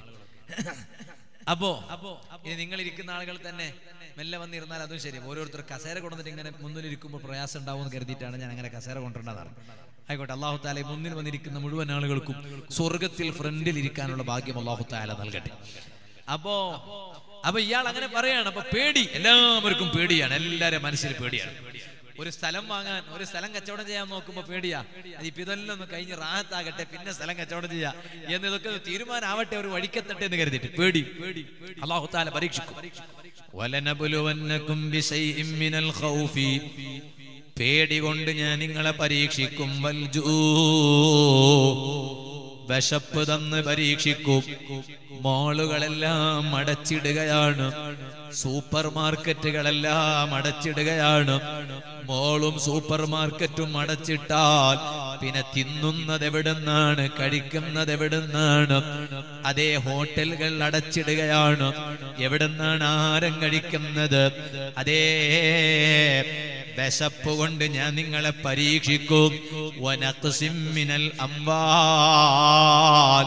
പല പ്രവാസികളും വിളിച്ചിട്ട് പറയാണ് ഉസ്താദേ കച്ചവടമില്ല ജോലിക്ക് പോകാനില്ല പുറത്തിറങ്ങാനില്ല. സമ്പത്ത് ചുരുക്കിയിട്ട് കുറച്ച് ഞാൻ നിങ്ങളെ പരീക്ഷിക്കും. വൽ പലതിന്റെയും പേരിൽ ഓരോരുത്തരും മരിക്കുകയാണ് ആ രൂപത്തിൽ മരണം കൊണ്ട് ഞാൻ നിങ്ങളെ പരീക്ഷിക്കോ. എന്നാൽ ഖുർആാനിൽ അള്ളാഹു താല പറയാണ് ആ സമയത്ത് നിങ്ങളുടെ ഈമാൻ ദുർബലമായി കൂടാ. ലോകം ഇതോടുകൂടെ അവസാനിച്ചു എന്ന് നിങ്ങൾ ടെൻഷൻ അടിച്ചുകൂടാ. ഖുർആനിന്റെ ഈ നിർദ്ദേശം അത് രണ്ടായിരത്തി ഇരുപതിൽ ജീവിക്കുന്നവർക്ക് മാത്രമല്ലല്ലോ. എക്കാലത്തും ജീവിച്ചു ഉള്ളവർക്കല്ലേ? മുൻകാലങ്ങളിൽ ജീവിച്ചവർക്കും ഇത് ഭാഗമ ബാധകമല്ലേ? വർത്തമാനകാലത്ത് ജീവിച്ചിരിക്കുന്നവർക്കും ബാധകമല്ലേ? ഭാവിയിൽ ജീവിക്കാൻ പോകുന്നവർക്കും ബാധകമല്ലേ? അതുകൊണ്ട് നിങ്ങൾ ടെൻഷൻ അടിച്ചിരിക്കരുത്. പേടിച്ച് നിങ്ങൾ ഈമാനികമായി ദുർബലരാകരുത് വബശ്ശിരി. ആ സമയത്ത് നിങ്ങൾ കൈമുതലാക്കേണ്ടുന്ന ഒരു പ്രതിരോധ ശേഷിയുണ്ട് അത് ക്ഷമയാണ്. ആ രൂപത്തിൽ നിങ്ങൾ ക്ഷമിച്ചാൽ നിങ്ങൾക്ക് സന്തോഷമുണ്ട് നബിയേ. ക്ഷമിക്കുന്നവർക്ക് സന്തോഷ വാർത്ത അറിയിക്കൂ നബിയേ. പക്ഷേ നമ്മൾ ഈ സമയത്തൊരു തീരുമാനമെടുക്കണം. എന്താണ് തീരുമാനമെന്നല്ലേ? തീരുമാനം നമ്മൾ അള്ളാഹുവിലേക്ക് കൽബ് തിരിച്ച് ജീവിക്കണം. നരകത്തിൽ നിന്ന് രക്ഷപ്പെടാനും സ്വർഗത്തിൽ പ്രവേശിക്കാനുള്ള വഴികൾ ആ വഴികൾ നമ്മൾ കണ്ടെത്തണം. അതൊരു ചെറിയ വഴികളല്ല. ഒരു ചെറിയ പോംവഴിയല്ലല്ലോ നമുക്ക് ചെയ്യാൻ പറ്റിയ ഇബാദത്തുകൾ മുഴുവനും ചെയ്യണം. ഏത് ഹൈറും ഏത് ഷറും അള്ളാഹുവിൽ നിന്നാണ് കിട്ടുന്നത് എന്ന ഉറച്ച വിശ്വാസം വേണം. അതല്ലേ നബിയുല്ലാഹി ദാവൂദ് നബി അലഹിസലാം ദാവൂദ് നബി അലഹിസലാമിന്റെ കാലത്ത് ജീവിച്ചിരുന്ന ഒരു സ്ത്രീ ആ സ്ത്രീയുടെ ഭർത്താവ് മരണപ്പെട്ടിരിക്കുന്നു. പക്ഷേ മൂന്ന് മക്കളാണ് ആ സ്ത്രീകൾക്കുള്ളത്. ആ സ്ത്രീക്കുള്ളത് മൂന്ന് മക്കളാണ്. ആ മൂന്ന് മക്കളും പെൺമക്കളാണ്. ആ മൂന്ന് പെൺമക്കൾക്ക് വേണ്ടി ഉമ്മ അധ്വാനിക്കുകയാണ്. ബാപ്പ മരിച്ചു. ആ ഉമ്മ എങ്ങനെയാണ് അധ്വാനിക്കുന്നത്? ഓ ഉമ്മമാരെ സഹോദരിമാരെ വീട്ടിലതാ കുപ്പായം നെയ്യുന്നു സ്റ്റിച്ച് ചെയ്യുന്നു. എന്നിട്ട് ആ സ്റ്റിച്ച് ചെയ്ത കുപ്പായം മാർക്കറ്റിൽ കൊണ്ടുപോയി കച്ചവടം ചെയ്യുന്നു.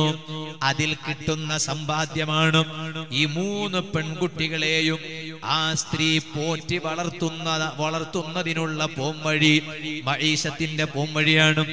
പക്ഷേ ഒരു ദിവസം ഈ സ്ത്രീ ദാവൂദ് നബി അലൈഹി ഇസ്ലാമിന്റെ അരികിൽ വന്ന് ചോദിച്ചു അല്ല ദാവൂദ് നബിയെ നിങ്ങളുടെ റബ്ബായ അള്ളാഹു നീതിമാനാണോ? അല്ല അക്രമിയാണോ? ദാവൂദ് നബി അലൈഹി ഇസ്ലാം ഈ സ്ത്രീയോട് ചോദിച്ചു അല്ല വമാ അല്ല പെണ്ണ് എന്താ അപ്പ നിങ്ങളെ ചരിത്രം? നിങ്ങൾ എന്തിനാ അങ്ങനെ ചോദിച്ചത്?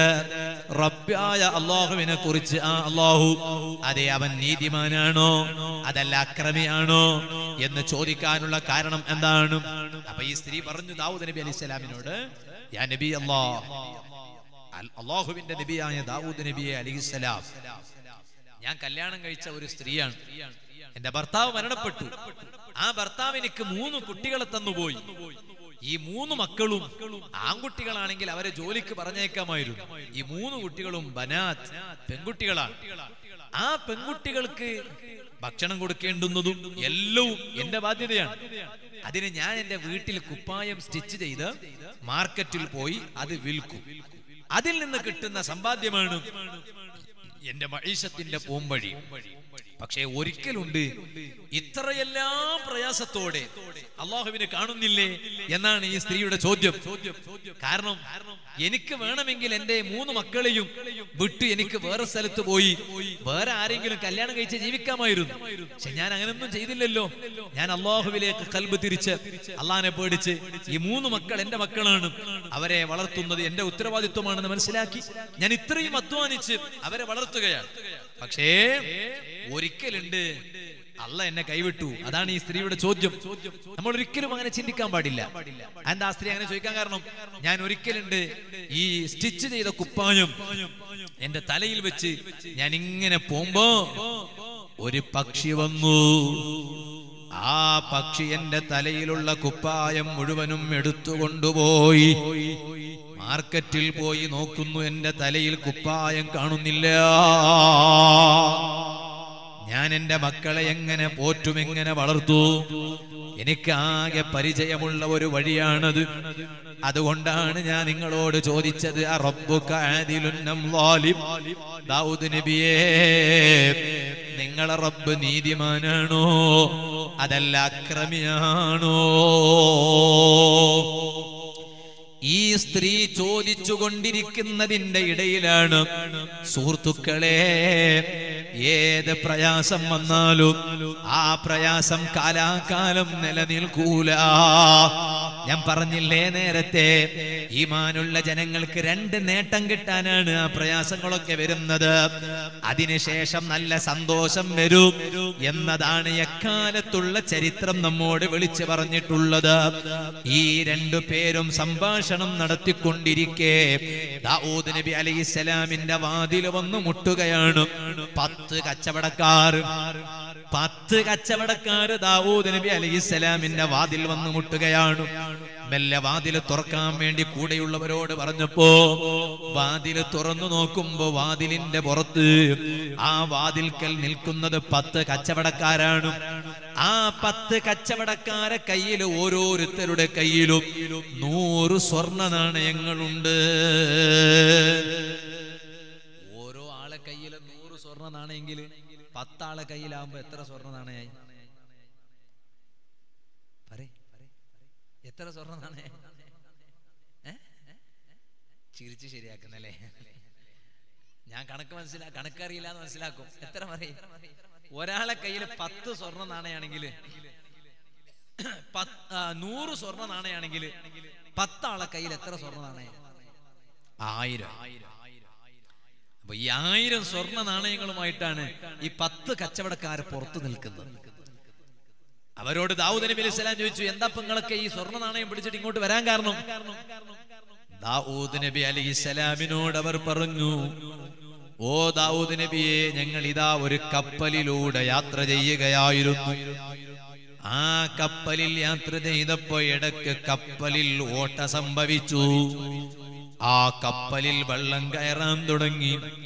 ഞങ്ങളെല്ലാം മുങ്ങാൻ പോകുമെന്ന് പേടിച്ച സമയത്താണ് ഞങ്ങളെ കപ്പലിന്റെ മുകളിൽ അതാ ഒരു പക്ഷി വന്നു. ആ പക്ഷി ചില കുപ്പായങ്ങളെ ഇട്ട് തന്നു. ആ കുപ്പായങ്ങളെ ഓരോ കഷ്ണമാക്കി മുറിച്ചു. ഈ കപ്പലിൽ എവിടെയാണോ ഓട്ട സംഭവിച്ചത്? ആ ഓട്ടകളിൽ മുഴുവനും ഈ തുണിക്കഷ്ണം വെച്ചുകൊടുത്തു മുങ്ങാൻ പോകുന്ന ഞങ്ങൾ രക്ഷപ്പെട്ടു. ഞങ്ങൾ യാത്ര തുടരുകയാണ്. ഞങ്ങൾ എല്ലാവരും തീരുമാനിച്ചു. ഈ ഒരു പ്രയാസത്തിൽ നിന്ന് ഞങ്ങളെ രക്ഷപ്പെടുത്തിയത് അള്ളാഹുവാണല്ലോ. ആ റബ്ബ് ഈ പക്ഷി മുഖേന കുപ്പായം ഇട്ട് തന്നതാണ്. അതുകൊണ്ട് ഞങ്ങളിൽ പെട്ട ഓരോ കച്ചവടക്കാരനും നൂറ് സ്വർണ നാണയം വീതം ഞങ്ങൾ അത് ആസ്വദക്ക ചെയ്യുകയാണ്. അതുകൊണ്ട് ഞങ്ങൾ ഓരോരുത്തരുടെ സ്വർണ നാണയമാണ് കയ്യിലുള്ളത് ഈ പത്ത് കച്ചവടക്കാർ ആയിരം സ്വർണ നാണയം കൊണ്ടുവന്ന് കൊടുത്തു. അവരങ്ങ് മടങ്ങിപ്പോയി. ഈ പെണ്ണിനോട് ദാവൂദ് നബി അലൈഹിസ്സലാം പറയുകയാണ് കണ്ടില്ലേ പെണ്ണേ ഇപ്പൊ നിനക്ക് നിന്റെ ചോദ്യത്തിന് മറുപടി കിട്ടിയോ? റബ്ബ് നീതിമാനാണോ? ആ റബ്ബ് അക്രമിയാണോ എന്നല്ലേ ചോദിച്ചത്. ഇപ്പൊ നിന്റെ റബ്ബ് നീതിമാനാണെന്ന് ബോധ്യപ്പെട്ടില്ലേ പെണ്ണേ? ഒരു പക്ഷേ നീ കുപ്പായം കൊണ്ടുപോയി മാർക്കറ്റിൽ വിറ്റാൽ നിനക്ക് ആയിരം സ്വർണ നാണയം കിട്ടുമോ? ഒരിക്കലും കിട്ടൂല. അതിന് പകരം ഒരു പക്ഷി അത് കൊണ്ടുപോയി. അതാ മുങ്ങാൻ പോകുന്ന കപ്പൽകാരെ അരികിൽ കൊണ്ടുപോയി കൊടുത്തു. ആ വസ്ത്രം കൊണ്ട് ഈ കപ്പലിലുള്ളവര് രക്ഷപ്പെട്ടു. അതിന് പകരം നിനക്കല്ല തന്നത് കണ്ടു. ആയിരം സ്വർണ നാണയമാണ് റബ്ബ് നീതിമാനാണ് കേട്ടോ. ഓരോരുത്തരുടെ പ്രയാസം കണ്ടറിഞ്ഞ് ആ പ്രയാസങ്ങളിൽ നിന്ന് ജനങ്ങളെ കരകയറാൻ റബ്ബ് സംവിധാനിക്കുന്നവനാണ് കേട്ടോ. ആ റബ്ബിലേക്ക് കൽബ് തിരിച്ച് ജീവിക്കണം. തക്വ ധാരാളം വർദ്ധിപ്പിക്കണം. സുഹൃത്തുക്കളെ അതുകൊണ്ടല്ലേ ഒരാൾ വന്നു? അഷ്റഫുൽ ഖൽക്ക് മുഹമ്മദുർ റസൂലുള്ളാഹി സല്ലല്ലാഹു അലൈഹി വസല്ലമ തങ്ങളുടെ അരികിൽ വന്നു. വന്നിട്ട് നബി സല്ലല്ലാഹു അലൈഹി വസല്ലമ തങ്ങളോട് ഒരു ചോദ്യമാണ്. എന്താണ് ചോദ്യം എന്നല്ലേ നബിയേ അംബിഇനി അൻ അംറിൻ ഇദാ അമിൽതുഹു ദഖൽതുൽ ജന്ന. ചില കാര്യം എനിക്ക് പറഞ്ഞു തരണം. ഞാൻ അത് ചെയ്താൽ സ്വർഗത്തിൽ പോകണം. ആരാണിത് വന്ന് ചോദിച്ചത്? സ്വഹാബത്തിന്റെ കൂട്ടത്തിൽ പ്രഗത്ഭരായ സ്വഹാബി വര്യർ. സയ്യിദുന അബൂ ഹുറൈറ റളിയല്ലാഹു അൻഹുവാണ്. മഹാനവരുകളാ വന്നിട്ട് ചോദിച്ചത് ഒരു കാര്യം പറഞ്ഞു തരണം ഞാനത് ചെയ്താൽ എനിക്ക് സ്വർഗത്തിൽ പോകാൻ കഴിയണം. അങ്ങനെ ഒരു കാര്യം പറഞ്ഞു തരണം. നബി സല്ലല്ലാഹു അലൈഹി വസല്ലമ തങ്ങൾ അബൂ ഹുറൈറ റളിയല്ലാഹു അൻഹിനോട് നാല് കാര്യം പറഞ്ഞു കൊടുത്തു. ആ നാല് കാര്യം നിങ്ങളെ ജീവിതത്തിൽ ശ്രദ്ധിച്ചാൽ സ്വർഗത്തിലാ ഏതാണ് ആ നാല് കാര്യം?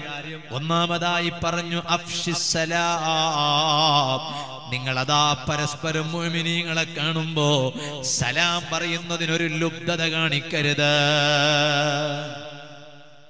പരസ്പരം മോമിനിങ്ങൾ കാണുമ്പോ സലാം പറയുന്നതിനൊരു ലുബ്ധത കാണിക്കരുത്. നമ്മുടെ കൂട്ടത്തിൽ എത്ര ആൾക്കുണ്ട് ആ സ്വഭാവം? ഏതെങ്കിലും ഒരു ചങ്ങായിനെ കണ്ടാൽ എപ്പോഴാ വന്നതെന്ന് ചോദിക്കും. നീ എപ്പോഴാ വന്നതെന്ന് ചോദിക്കും. നമ്മൾ ഈ ഭാഗത്തുള്ള ഭാഷ അനുസരിച്ച്. നീ എപ്പോഴാ വന്നതെന്ന് ചോദിക്കും. ഈ പരിസരത്തുള്ള ഭാഷ നിങ്ങൾക്ക് അറിയുള്ളൂ. നീ എപ്പോഴാ വന്നതെന്ന് ചോദിക്കും. അതേ സമയത്ത് അങ്ങനെ ചോദിക്കുന്നതിന് മുമ്പ് ഉണ്ടോ? പലരും അത് നഷ്ടപ്പെടുത്തി കളിയാണ്. പള്ളിയിലേക്ക് വരുമ്പോ എത്ര ആളുകളെ കാണും. ആ എന്താ സുഖല്ലേ? തെങ്ങിനെ കുറിച്ച് തന്നെ ചർച്ച തേങ്ങ എത്ര ആയിന്നാ ചർച്ച ചെയ്യാണ്. ആ സമയത്ത് ഒന്ന് പരസ്പരം കാണുമ്പോ സലാം അലൈക്കും. എന്തേ സലാം പറയാത്ത സലാം പറയണം? അഫ്ഷി സലാം. ബാലിന്റെ സദസ്സിൽ വന്നിരിക്കുമ്പോ അടുത്തിരിക്കുന്ന കൂട്ടുകാരല്ലേ? നിങ്ങൾ ഇരുന്നപ്പോ അങ്ങോട്ടും ഇങ്ങോട്ട് സലാം പറഞ്ഞിട്ടുണ്ടോ? എന്തേ നിങ്ങൾ ഇങ്ങനെ കണ്ടപ്പോ സലാം പറയാത്തത് എന്തേ? സലാം പറയണം. നബി സല്ലല്ലാഹു അൻഹുവിനോട് അങ്ങനെയല്ലേ പറഞ്ഞത്? സ്വർഗത്തിലെത്താനുള്ള വഴിയാണ്. സലാം പറയണമെന്നല്ല വ്യാപിപ്പിക്കണം. സലാമിന്റെ ആൾ എന്ന് ജനങ്ങൾ പറഞ്ഞാലും സാരല്ല. അതുവരെ പറയണം. അപ്പോഴല്ലേ വ്യാപിപ്പിക്കാൻ കഴിയാ സലാം. ആട്ടി കുറക്ക അമാസ കുറക്ക എന്ന് പറയും എന്റെ നക്കണിക്ക ഭാഷയിൽ അങ്ങനെയല്ല സലാം പറയുന്നത് മറിച്ച് സലാം വ്യാപിപ്പിക്കണം. ഒരാൾ ഒരുക്ക കണ്ടു പിന്നെ കുറെ കഴിഞ്ഞിട്ട് പിന്നെ കണ്ടു. ഞാൻ നേരത്തെ സലാം പറഞ്ഞാണെന്ന് പറഞ്ഞിട്ട് അങ്ങനെ ആക്കാൻ പാടില്ല. പിന്നെ സലാം പറയണം സലാം വ്യാപിപ്പിക്കണം. സ്വർഗത്തിലേക്കുള്ള വഴിയാണ്. ഇത് പറഞ്ഞതിന് ശേഷം നബി സല്ലല്ലാഹു അലൈഹി വസല്ലമ തങ്ങൾ വീണ്ടും അബൂ ഹുറൈറ റളിയല്ലാഹു അൻഹുവിനോട് പറയാണ് വാ തുഇമി നിങ്ങൾ അതാ ജനങ്ങൾക്ക് ഭക്ഷിപ്പിക്കണം. അതിനൊരു കുറവും വരുത്തരുത്. സ്വർഗത്തിലെത്തിക്കുന്ന അമലാണത്. ജനങ്ങൾക്ക് ഭക്ഷിപ്പിക്കണം. ഞാൻ ഇങ്ങോട്ട് വരുമ്പോ നമ്മുടെ അഷറഫ് ഭായിയുടെ വീട്ടിൽ പോയി ഭക്ഷണം കഴിച്ചു വന്നതാണ്. അള്ളാഹുത്താൻ അവർക്കും വീട്ടുകാർക്കും സ്വർഗം നൽകട്ടെ. ഇതുപോലെ ഓരോ ദിവസവും നമ്മുടെ നാട്ടിലേക്ക് വരുന്ന ഉസ്താദുമാർക്ക് ഭക്ഷണം കൊടുക്കുന്നവരുണ്ട്. ആദരണീയായ ഉസ്താദ് ഭക്ഷണം കഴിച്ചോ എന്ന് എനിക്കറിയില്ല അള്ളാഹു താല അവർക്കും ഹൈർ നൽകട്ടെ ബർക്കത്ത് നൽകട്ടെ. ഇതുപോലെ പള്ളിയിലെ ഉസ്താദുമാർക്ക് ഭക്ഷണം കൊടുക്കും. ചില ആളുകൾക്ക് പള്ളിയിലെ ഉസ്താദുമാർക്ക് ഭക്ഷണം കൊടുക്കുക എന്ന് പറഞ്ഞ ഭയങ്കര മടിയാണ്. അതിന് പള്ളിയിലെ ഉസ്താദുമാർ തന്നെ ആ വീട്ടിൽ നിന്ന് ഭക്ഷണം വേണ്ട എന്ന് പറയാൻ വേണ്ടി ചിലപ്പോ ഈ പുൽച്ചത് എന്നെല്ലാം പറയും. എന്റെ ഭാഷയിൽ. ഇവിടെ അങ്ങനെ പറയാൻ എനിക്കറിയില്ല അതൊക്കെ കൊടുത്തയക്കും. അട്ടിപ്പാത്രത്തിൽ ബുദ്ധിയിലാക്കിയിട്ട്. എന്താ കാരണം? ആ പൊരന്റെ ഭക്ഷണം വേണ്ടാന്ന് പറയിപ്പിക്കാൻ വേണ്ടി അല്ലാതെ വേറൊന്നും ഉണ്ടായിട്ടല്ല. അങ്ങനെ ആകാൻ പാടില്ല. ഭക്ഷണം കൊടുക്കണം. അത്രയും. നിങ്ങൾ നോക്കുക അബൂ ഹുറൈറ റളിയല്ലാഹു അൻഹു നബി സല്ലല്ലാഹു അലൈഹി വസല്ലം അരികിൽ വന്ന് സ്വർഗത്തിൽ പോകണമെങ്കിൽ ഞാൻ എന്ത് ചെയ്യണം എന്ന് ചോദിച്ചപ്പോ നിസ്കാരമല്ല പറഞ്ഞു കൊടുത്തത്. മറിച്ച് ഒന്ന് സലാം വ്യാപിപ്പിക്കണം. കാരണം പലരും ഇല്ലാത്ത നിസ്കാരം എല്ലാവരും ഉണ്ടാവും എന്നാൽ നിസ്കരിക്കുന്നവന്റെ അടുത്ത് പോലും ഇല്ലാത്ത ഒരു സ്വഭാവമാണ് ഭക്ഷിപ്പിക്കാന്ന് എന്ന്. ഭക്ഷിപ്പിക്കണം. അതിനൊരു കുറവും വരുത്താൻ പാടില്ല. ചില ഉമ്മമാരുണ്ട്. നമ്മുടെ പള്ളി ഉമ്മമാരൊക്കെ അങ്ങനെയാണ്. സഹോദരിമാരൊക്കെ അങ്ങനെയാണ്. എന്താ? അവർക്ക് വീട്ടിലേക്ക് അതിഥികൾ വരുമ്പോ ആ അതിഥികൾക്ക് ഭക്ഷണം ഉണ്ടാക്കി കൊടുക്കുന്നതിന് ഒരു പ്രയാസവും ഇല്ല ധാരാളം ഭക്ഷണം ഉണ്ടാക്കി കൊടുക്കും. ഇതുപോലെ വേറെ ചില സ്ത്രീകളുണ്ട്. അവർ ഭക്ഷണം ഉണ്ടാക്കി കൊടുക്കാൻ ഭയങ്കര പ്രയാസമാണ് അവർക്ക്. ഭർത്താവെങ്കാലും ഒരു അതിഥിനെയും കൂട്ടിയിട്ട് വീട്ടിലേക്ക് വന്നാൽ വീട്ടിലേക്ക് വന്നാൽ വീട്ടിലേക്ക് വന്നാൽ പിന്നെ പറയും ഒരൊക്കെ കൂട്ടിക്കൊണ്ടുവന്നത് ഓക്കെ. ഇനി അടുത്തത് കൂട്ടിക്കൊണ്ടുവരണമെങ്കിൽ നിങ്ങൾ അടുക്കളയിൽ പണിയെടുക്കേണ്ടി വരും. എന്നാ മാത്രം ആ ഉറപ്പുണ്ടെങ്കിൽ മാത്രം കൂട്ടിക്കൊണ്ടുവന്നാൽ മതി അങ്ങനത്തെ ചില സ്ത്രീകളും ഇവിടെ ഒന്നും അത്തരത്തിലുള്ള ഉമ്മമാരില്ല. എല്ലാത്തിനും മര്യാദ ഉണ്ട് ഭക്ഷണം കഴിക്കുമ്പോഴും മര്യാദ ഉണ്ട് ഞാൻ ഇങ്ങോട്ട് ഇപ്പോ ഭക്ഷണം കഴിക്കാൻ വേണ്ടി ഓരോ വീട്ടിൽ പോയപ്പോണ്ട്. ഭക്ഷണം എടുത്തു വെച്ചു ചോദിച്ചു. അപ്പൊ ഇല്ല ഉസ്താദ് ഇരുന്നിട്ടേ ഭക്ഷണം എടുത്തു വെക്കൂ എന്നാണ് വീട്ടിലത്തെ പെണ്ണുങ്ങൾ പറയുന്നുണ്ട് ഇരുന്ന ശേഷം ടേബിളിന്റെ കസേരൽ വന്ന് ഇരുന്ന ശേഷമേ ഭക്ഷണം എടുത്തു വെക്കുന്നുള്ളൂ. നോക്കും എന്താണ്? ഞാൻ തന്നെ ഒരു സ്ഥലത്ത് വേദം അറിഞ്ഞതാണ്. ഞാൻ തന്നെ ഒരു സ്ഥലത്ത് വേല പറഞ്ഞാണ് ഭക്ഷണം കഴിക്കുന്നതിന്റെ അതവിൽ പെട്ടതാണ്. നമ്മൾ പോയി ഇരുന്നതിന് ശേഷമാണ് ഭക്ഷണം കൊണ്ടുവരേണ്ടത്. അല്ലാതെ ഭക്ഷണം കൊണ്ടുവന്ന് മേശപ്പുറത്ത് വെച്ച് ഞങ്ങളെ കാത്ത് പിന്നെ ഞങ്ങൾ പോകാനല്ല നമ്മൾ അവിടെ പോയി ഇരുന്നതിന് ശേഷമാണ് ഭക്ഷണം കൊണ്ടുവരുന്നത് അപ്പൊ അതുകൊണ്ട് അപ്പൊ ഞാൻ തന്നെ ചിന്തിച്ചു ചിലപ്പോ ഞങ്ങൾ പറയുന്ന വേറെ തന്നെ ചിലപ്പോ ഞങ്ങൾക്ക് തന്നെ എതിരായി പോകുന്നു അങ്ങനെ ഒന്നല്ല എനിക്ക് വലിയ സന്തോഷമായി. കാരണം കുറെ വേല കേട്ടിന് പകരം കേട്ടിങ്ങനെ തള്ളുന്നതിന് പകരം അത് നമ്മുടെ ജീവിതത്തിൽ ഉപകരിക്കുന്നുണ്ടല്ലോ എന്ന് വലിയ സന്തോഷമായി അള്ളാഹു തല നമുക്കൊക്കെ സന്തോഷം ധാരാളം ജീവിതത്തിൽ നൽകട്ടെ. ഞാൻ പറഞ്ഞു വന്നത് ഭക്ഷിപ്പിക്കണം. അതിനൊരു കുറവും വരുത്താൻ പാടില്ല. അത് ഏറ്റവും വലിയ അമല. ഇരിക്കട്ടെ. മൂന്നാമതായി പറഞ്ഞു നബി സല്ലല്ലാഹു അലൈഹി വസല്ലമ തങ്ങൾ. അവിടുന്നതാ പറയാണ് വസ്വിലിൽ അർഹാം നീ കുടുംബ ബന്ധം വെച്ച് പുലർത്തണം കേട്ടോ. സ്വർഗത്തിലേക്ക് പോകാനുള്ള വഴിയാണത്. ഓ സുഹൃത്തുക്കളെ നമ്മിൽപ്പെട്ട ചിലരുണ്ട്. അവർ എല്ലാറ്റിലും വലിയ വിഷയമാണ്. എല്ലാറ്റിലും വലിയ ഉഷാറാണ്. കുടുംബക്കാരോട് പിണക്കത്തിലാണ്. ജ്യേഷ്ഠനെ കണ്ടുകൂടാ അനുജന്. അനുജന് കണ്ടുകൂടാ ജേഷ്ഠന്. അളാപ്പ മൂത്താപ്പാന്റെ മക്കൾക്ക് തമ്മിൽ കണ്ടുകൂടാ. ഒരിക്കലും അങ്ങനെ ആകാൻ പാടില്ല. നിന്റെ നെറ്റിത്തടത്ത് ധാരാളം നിസ്കാര തഴമുണ്ടായിട്ടും ഒരു കാര്യവുമില്ല. ഇടയ്ക്ക് വെച്ച് ഒരു ആയത്ത് ഞാൻ നിങ്ങളെ ശ്രദ്ധയിൽപ്പെടുത്തുകയാണ്. സൂറത്തുൽ അൻആം. ഖുർആനിൽ അല്ലാഹു പറഞ്ഞു അല്ലദീന ആമനു ഈമാനുള്ള ജനങ്ങൾക്ക് പേടിയിൽ നിന്ന് രക്ഷപ്പെടണമെങ്കിൽ കേവലം ഈമാൻ ഉണ്ടായത് കൊണ്ട് മാത്രമായില്ല.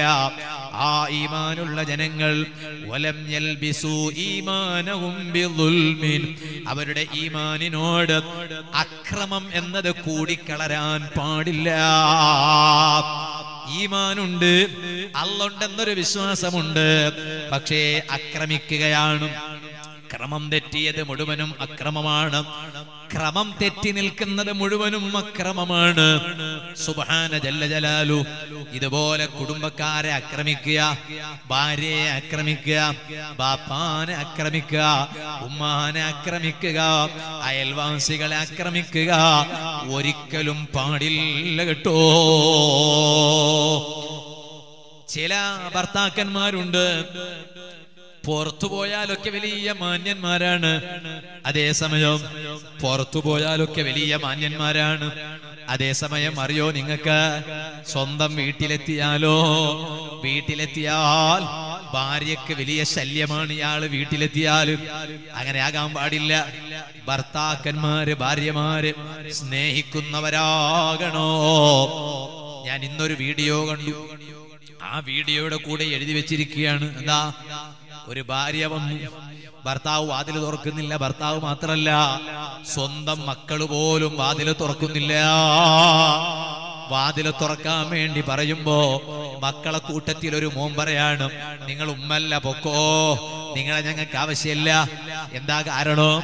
കാരണം ഏതോ ഒരുത്തന്റെ കൂടെ ഒളിച്ചോടിയതാണ് ഈ ഉമ്മ. അവസാനം അവനങ്ങ് വലിച്ചെറിഞ്ഞപ്പോഴേക്ക് വീണ്ടും ഭർത്താവിന്റെ അരികിലേക്ക് മടങ്ങി വന്നപ്പോ സ്വന്തം മക്കൾ വരെ കൈവിട്ടുപോയി. ഓ ഉമ്മമാരെ സ്വന്തം ഭർത്താക്കന്മാരുണ്ടായിട്ട് കണ്ട് കണ്ട ഏതോ ഒരുത്തന്റെ കൂടെ പോയാൽ അവന്റെ കൂടെയുള്ള ജീവിതത്തിന് നിങ്ങൾക്ക് നിലനിൽപ്പില്ല കേട്ടോ. എക്കാലത്തുമുള്ള നിങ്ങളെ ജീവിതത്തിന് നിലനിൽപ്പ് വേണോ? അത് നിക്കാഹ് മുഖേന. നിങ്ങളെ കല്യാണം കഴിച്ച ഭർത്താക്കന്മാരെ കൂടെയാണ്. ഒരു സംശയവും ഇല്ല. അതുകൊണ്ട് ആ ഭാര്യമാരെ നല്ല വണ്ണം സ്നേഹിക്കണം. ആ ഭാര്യമാർക്ക് ചെലവിന് കൊടുക്കുന്നതിന് ഭർത്താക്കന്മാര് ഒരു കുറവും വരുത്താൻ പാടില്ല. ഈ ചില പുരുഷന്മാരൊക്കെ ഉണ്ട്. കല്യാണം കഴിച്ചിട്ട് ഭാര്യനെ വിട്ടേച്ചിട്ട് അങ്ങ് ഒറ്റ പോക്ക്. എവിടെ പോയാലും ശരി അജ്മീറിലേക്ക് പോയാലും ശരി. ഹാജാതങ്ങൾ സ്വീകരിക്കൂല്ലേ? ഭാര്യക്ക് ചെലവിന് കൊടുക്കാത്ത ഭർത്താവിനെ ഹാജാതങ്ങൾ സ്വീകരിക്കൂ. ഇതുപോലെ ഭാര്യക്ക് ചെലവിന് കൊടുക്കാതെ ആ ഭാര്യക്ക് മക്കളെ സമ്മാനിച്ച ബാപ്പയാണ് ഭർത്താവാണ് ആ ഭാര്യ ആ ഭാര്യക്കും മക്കൾക്കും ഒന്നും ചെലവിന് കൊടുക്കാതെ ഈ ഭർത്താവ് കണ്ട് കണ്ട സ്ഥലത്ത് ഇങ്ങനെ വലസി നടന്നാൽ ആ ഭർത്താവിന്റെ നിസ്കാരം പോലും അള്ളാഹു സ്വീകരിക്കൂല അള്ളാഹു താലയുടെ വെറുപ്പ് സമ്പാദിക്കുന്ന ഭർത്താവാണ്. അങ്ങനെയാകാൻ പാടില്ല. ഭാര്യക്ക് ചെലവിന് കൊടുക്കുന്ന ഭർത്താവിന് വലിയ പവറുണ്ട് നബി അലൈ അലൈഹി വസല്ലമ തങ്ങൾ പറഞ്ഞു നിങ്ങൾ കൊടുക്കുന്ന ഏത് ചെലവാണെങ്കിലും. നഫഖതൻ അള്ളാഹുവിനെ ലക്ഷ്യം വെച്ച് ആ റബ്ബിൽ നിന്ന് പ്രതിഫലം ലഭിക്കണമെന്ന് ആഗ്രഹിച്ച് പേരിനല്ല പെരുമക്കല്ല പ്രശസ്തിക്കല്ല.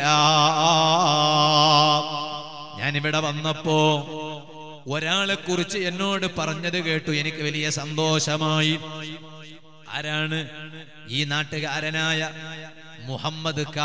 അള്ളാഹുവേ നമ്മെ വിട്ടുപിരിഞ്ഞു. നീ അവരുടെ കബറ് സന്തോഷത്തിലാക്കണേ അല്ലാ. അവരെ കബറ് സ്വർഗത്തോപ്പാക്കണേ അല്ലാ.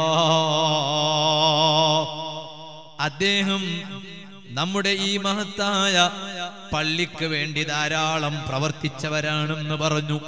ഇപ്പോഴും ഈ പള്ളിക്ക് വേണ്ടി അധ്വാനിക്കുന്ന കമ്മിറ്റിക്കാരുണ്ട്. ഓടി നടക്കുന്നവരുണ്ട് സഹായിക്കുന്നവരുണ്ട് സഹകരിക്കുന്നവരുണ്ട് അവരെ പേരൊന്നും എനിക്കറിയില്ല പടച്ചറബേ എല്ലാവരെയും നീ അറിയുന്നവനാണ്. നീ അവർക്ക് ഇരു വീട്ടിലും സന്തോഷം നൽകണേ അല്ലാ എന്നിട്ട് അദ്ദേഹത്തെ കുറിച്ച് ഇവിടെ വന്നപ്പോ പറഞ്ഞു ഇവിടത്തെ ഇതിനു വേണ്ടി ധാരാളം ഇവിടത്തെ വരുമാനത്തിന് വേണ്ടി പലയിടത്തും പോയി കലക്ഷൻ ചെയ്ത് അധ്വാനിച്ച് പ്രവർത്തിച്ചവരാണ്. ഓ ചെറുപ്പക്കാരെ കണ്ടില്ലേ നിങ്ങൾ നല്ലത് ചെയ്താൽ അവർ മരിച്ചിട്ട് കുറെ കാലം പിന്നിട്ടെങ്കിലും അവരെ ആരും മറക്കൂല. എക്കാലത്തും അവരെ ഓർക്കും. അള്ളാഹു താല അവരെയും ഞങ്ങളെയും സ്വർഗത്തിൽ ഒരുമിച്ച് കൂട്ടട്ടെ. നമ്മൾ പള്ളിയുമായി ബന്ധം സ്ഥാപിക്കുന്നവരാകണം. ഇടയ്ക്ക് വെച്ച് ഞാൻ പറയട്ടെ പള്ളിയുമായി ബന്ധം സ്ഥാപിക്കുന്നവരാകണം. എന്റെ കാരണം ഒരാൾ നിങ്ങൾ പറഞ്ഞു ഒരാൾ നോക്കിയാലും പള്ളിക്ക് വന്നു പോകുന്നത് കണ്ടാൽ അത് നിസ്കരിക്കാനായാലും ശരി. അല്ലെങ്കിൽ പള്ളി പരിസരത്ത് എന്ത് പരിപാടി ഉണ്ടെങ്കിലും അയാൾ വളരെ സജീവമാണ് വന്നു പോകും. പള്ളിക്ക് എന്ത് ആവശ്യമുണ്ടെങ്കിലും മൂപ്പർ വളരെ മുന്നിലാണ്. അങ്ങനെ ഏത് സമയത്തും നബി സല്ലല്ലാഹു അലൈഹി വസല്ലം പറഞ്ഞു യഅ്താദുൽ മസാജിദ്. ഒരാൾ ഒരു പുരുഷൻ പള്ളിക്ക് ഇങ്ങനെ വന്നു പോകുന്നു. എപ്പോഴും പള്ളിയുമായി ബന്ധമാണ്. ചിലരെ കുറിച്ച് ഞങ്ങൾ അങ്ങനെ പറയാറില്ലേ? അയാൾ പള്ളിയുമായി ഭയങ്കര ബന്ധമാണ്. അങ്ങനെ പള്ളിയുമായി എപ്പോഴും ബന്ധമുള്ള ഒരാളാണ് നിങ്ങൾ കാണുന്നതെങ്കിൽ നിങ്ങൾ ഉറപ്പിച്ച് വിശ്വസിക്കണം. നിങ്ങൾ സാക്ഷിയാകണം. അദ്ദേഹം ഈമാനുള്ളയാളാണെന്ന് ഉറപ്പിക്കണം എന്ന് മുഹമ്മദ്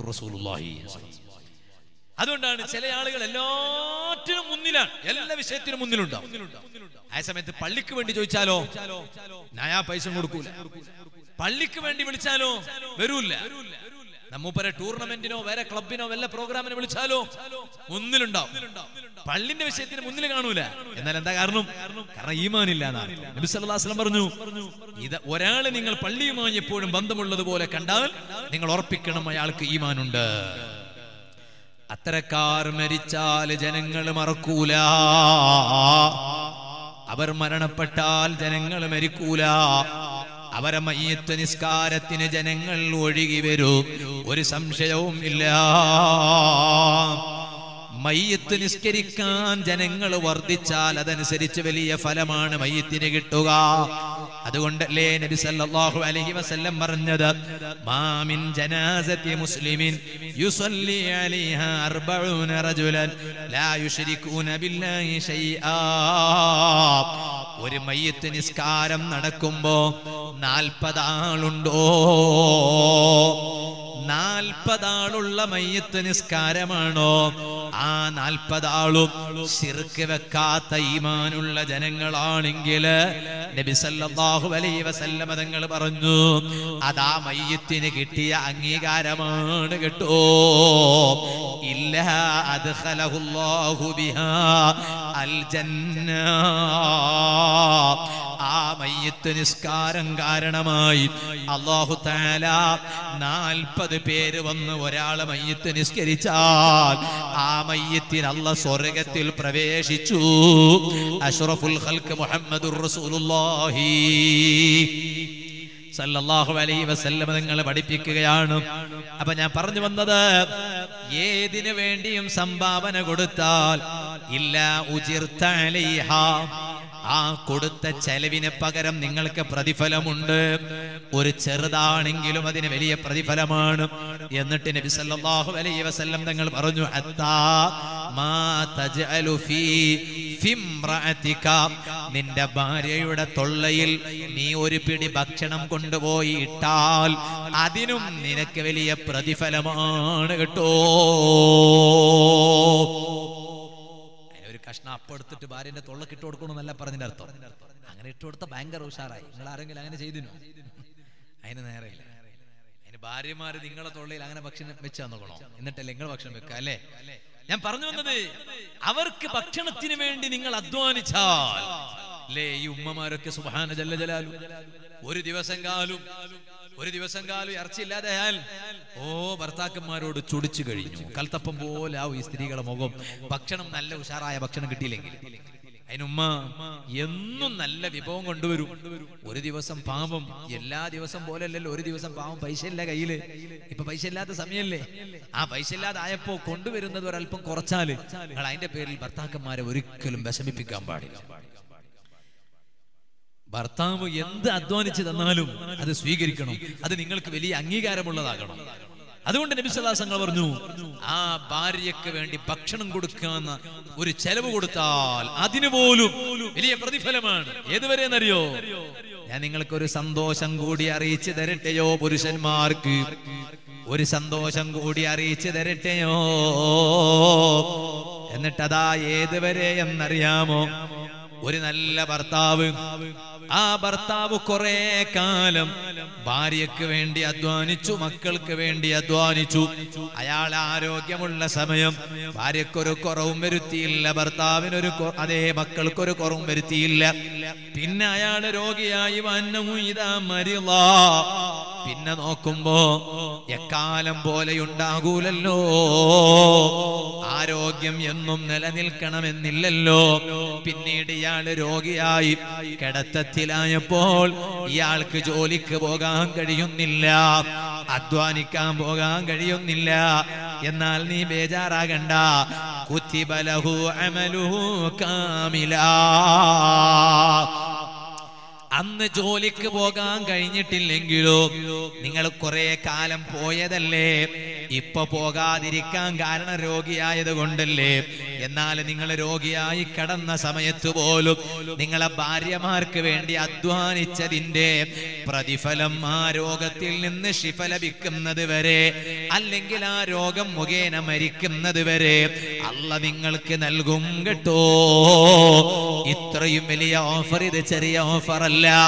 ഇതുപോലെ ഞാൻ ചെറുപ്പക്കാരോട് പറയട്ടെ ചെറുപ്പക്കാരെ ആരോഗ്യമുള്ള സമയത്ത് നിങ്ങൾ പള്ളിയിൽ വരണം ആ പള്ളിയിൽ നിസ്കരിക്കണം നിങ്ങൾ നല്ല നല്ല കാര്യങ്ങൾ ചെയ്യണം അമലുകൾ ചെയ്യണം സൽക്കർമ്മങ്ങൾ ധാരാളം ചെയ്യണം. കാരണം ആരോഗ്യം എപ്പോഴും നിലനിൽക്കുന്നതല്ല.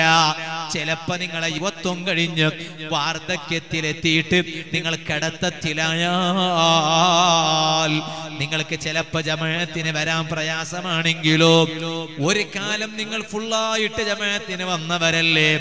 ഇപ്പോഴും ജമയത്തിന് വരണം എന്ന് താല്പര്യമില്ലേ? പക്ഷേ ജമാഅത്ത് നഷ്ടപ്പെടുന്നു നിങ്ങൾക്ക് വരാൻ കഴിയുന്നില്ല. അതിന്റെ പേരിൽ നിങ്ങൾക്ക് വല്ലാത്ത സങ്കടമല്ലേ? ബേജാറാകണ്ട. സങ്കടപ്പെടേണ്ടതില്ല. അതിന് പകരം നിങ്ങൾ ജമാഅത്തിന് വന്ന പ്രതിഫലമല്ല നിങ്ങൾക്ക് തരൂ. കാരണം ഒരു കാലത്ത് നിങ്ങൾ ആ സൽക്കർമ്മം പതിവാക്കിയവരല്ലേ? ഇപ്പൊ നഷ്ടപ്പെട്ടത് ആരോഗ്യം ആരോഗ്യം ഇല്ലാത്തതിന്റെ പേരിലാണല്ലോ. അതുകൊണ്ട് നിങ്ങൾക്ക് ആ പ്രതിഫലം എക്കാലവും ലഭ്യമാണ് കേട്ടോ. നമ്മൾ അതുപോലെയുള്ള സൽക്കർമ്മങ്ങളെ കുറിച്ച് ശ്രദ്ധിക്കണോ. സാന്ദർഭികമായി ഞാൻ ഓർമ്മപ്പെടുത്തുകയാ അതുകൊണ്ടല്ലേ നബി സല്ലല്ലാഹു അലൈഹി വസല്ലമ തങ്ങൾ പറഞ്ഞത് ഇദാ മരിളൽ മുഅ്മിനു. ഒരു മുഅ്മിനായ മനുഷ്യൻ രോഗിയായാൽ ഖാലത്തിൽ മലായിക മലക്കുകൾ അള്ളഹാനോട് ചെന്ന് പറയും യാ റബ്ബന ഓ റബ്ബേ അബ്ദുക ഫുലാൻ ഖദ് ഹബിസ്തഹു. നിന്റെ ഒരു അടിമ നല്ല അടിമയാണ്. അവൻ ആരോഗ്യമുള്ള സമയത്ത് ധാരാളം വിവാദത്ത് ചെയ്ത് ജീവിച്ചവനാണ്. ആ അടിമയെ ഇപ്പൊ നീ രോഗം കൊടുത്തിട്ട് നീ ബന്ധിച്ചു വെച്ചല്ലേ? ഇപ്പൊ അവന് പള്ളിക്ക് വരാൻ കഴിയുന്നില്ല. ഇബാദത്ത് ചെയ്യാൻ കഴിയുന്നില്ല. വളരെ കുറവാണ്. നമ്മളെ സംഘടനക്ക് വേണ്ടി പ്രവർത്തിക്കണം. അള്ളാഹുവിന്റെ ദീനിന് വേണ്ടി പ്രവർത്തിക്കണം. എസ് വൈ എസിന് വേണ്ടി പ്രവർത്തിക്കണം. മുസ്ലിം ജമാഅത്തിന് വേണ്ടി പ്രവർത്തിക്കണം. എസ് എം എക്ക് വേണ്ടി പ്രവർത്തിക്കണം. എസ് എസ് എഫിന് വേണ്ടി പ്രവർത്തിക്കണം. ഓ കുട്ടികളെ മഴവില്ല് പ്രസ്ഥാനത്തിന് വേണ്ടി പ്രവർത്തിക്കണം. എസ് ബി എസിന് വേണ്ടി പ്രവർത്തിക്കണം. പ്രവർത്തനം കാലാകാലം ചെയ്യാൻ കഴിഞ്ഞുകൊള്ളണമെന്നില്ല. ആരോഗ്യമുള്ള സമയത്തല്ലേ അത് ചെയ്യാൻ കഴിയുക. നമ്മളിപ്പോ നല്ല ആരോഗ്യമുള്ള സമയത്ത് നമ്മൾ ധാരാളം പ്രവർത്തിച്ചാൽ സംഘടന എന്നത് ഒരു നാട്ടിൽ ഗ്രൂപ്പിസം ഉണ്ടാക്കാനല്ല ഭിന്നിപ്പുണ്ടാക്കാനല്ല.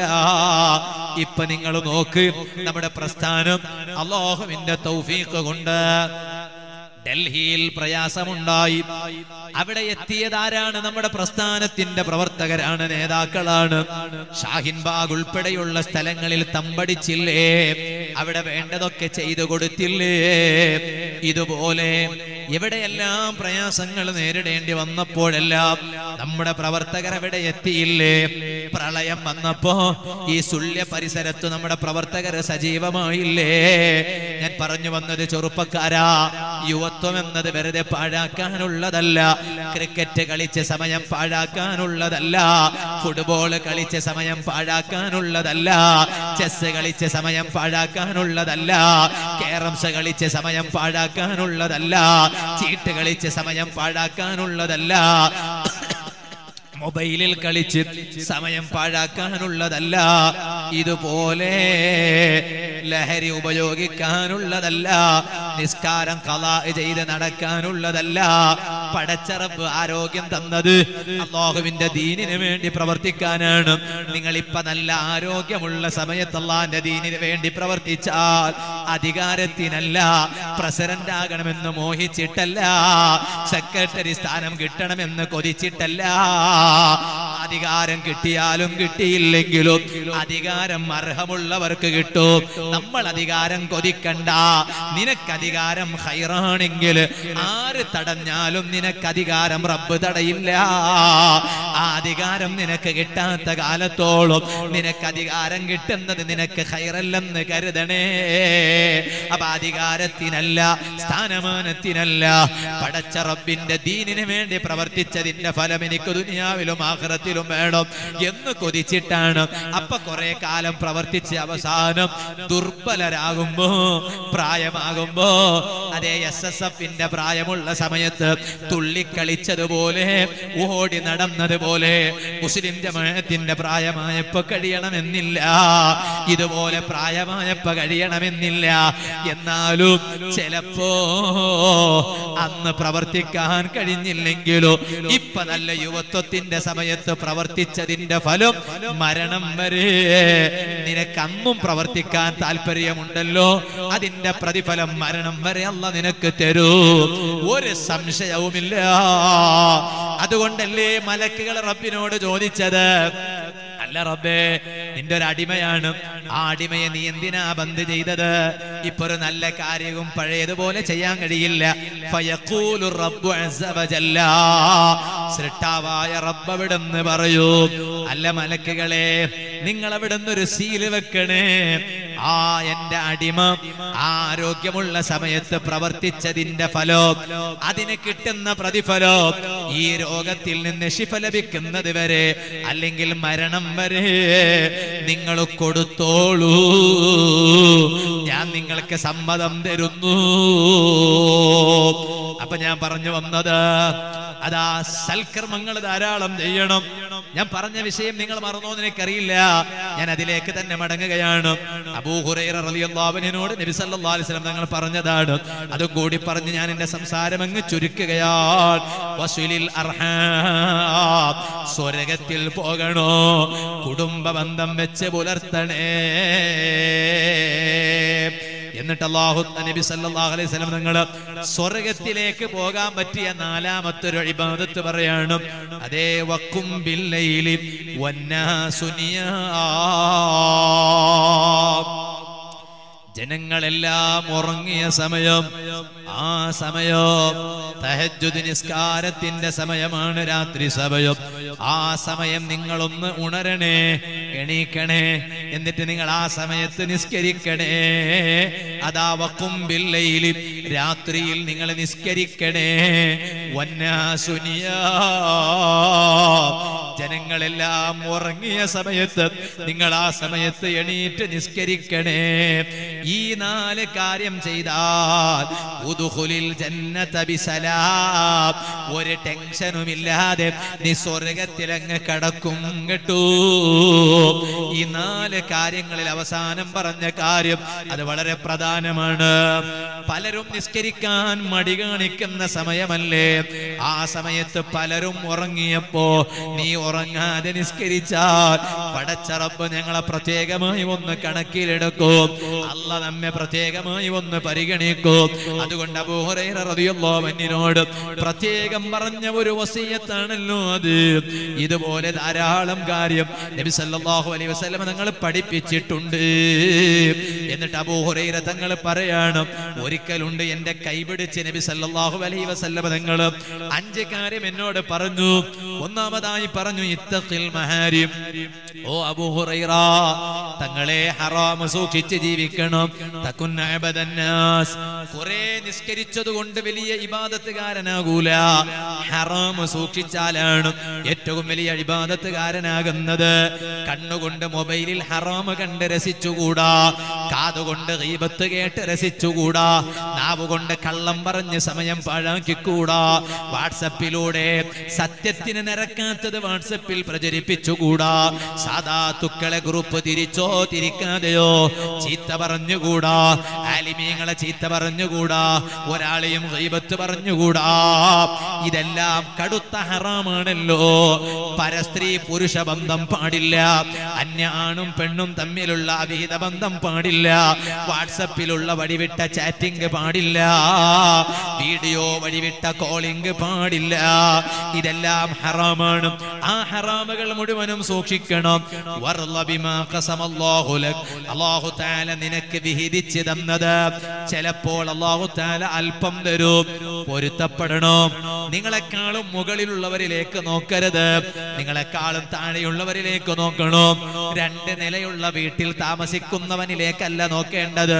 ഒരു നിലയുള്ള വീട്ടിൽ താമസിക്കുമ്പോ അതേ വീടില്ലാതെ എത്ര പേരാണ് രാത്രി സമയത്ത് ബസ് സ്റ്റോപ്പിൽ കിടന്നുറങ്ങുന്നത്? സ്വന്തം വീടില്ലാതെ വാടക വീട്ടിൽ മാറി മാറി താമസിക്കുന്ന എത്ര പേരാ ഉള്ളത്? പടച്ചറപ്പ് എനിക്കൊരു സ്വന്തം വീട് തന്നല്ലോ. അത് രണ്ട് തട്ടല്ലെങ്കിലും ഒരു തട്ട് മാത്രമാണെങ്കിലും അല്ല എനിക്കത് തന്നല്ലോ. അള്ളാഹു തആല നിനക്ക് തന്നത് നീ അങ്ങ് തൃപ്തിപ്പെട്ട് ജീവിക്കണോ. എന്ന ജനങ്ങളെ കൂട്ടത്തിൽ നല്ല സമാധാനമുള്ളവനാകും നീ. കുറെ ലക്ഷക്കണക്കിന് പൈസ ഉണ്ടായവർക്ക് നിങ്ങൾ വലിയ ലക്ഷാധിപതികളോട് പോയി ചോദിക്കൂ നിങ്ങൾ.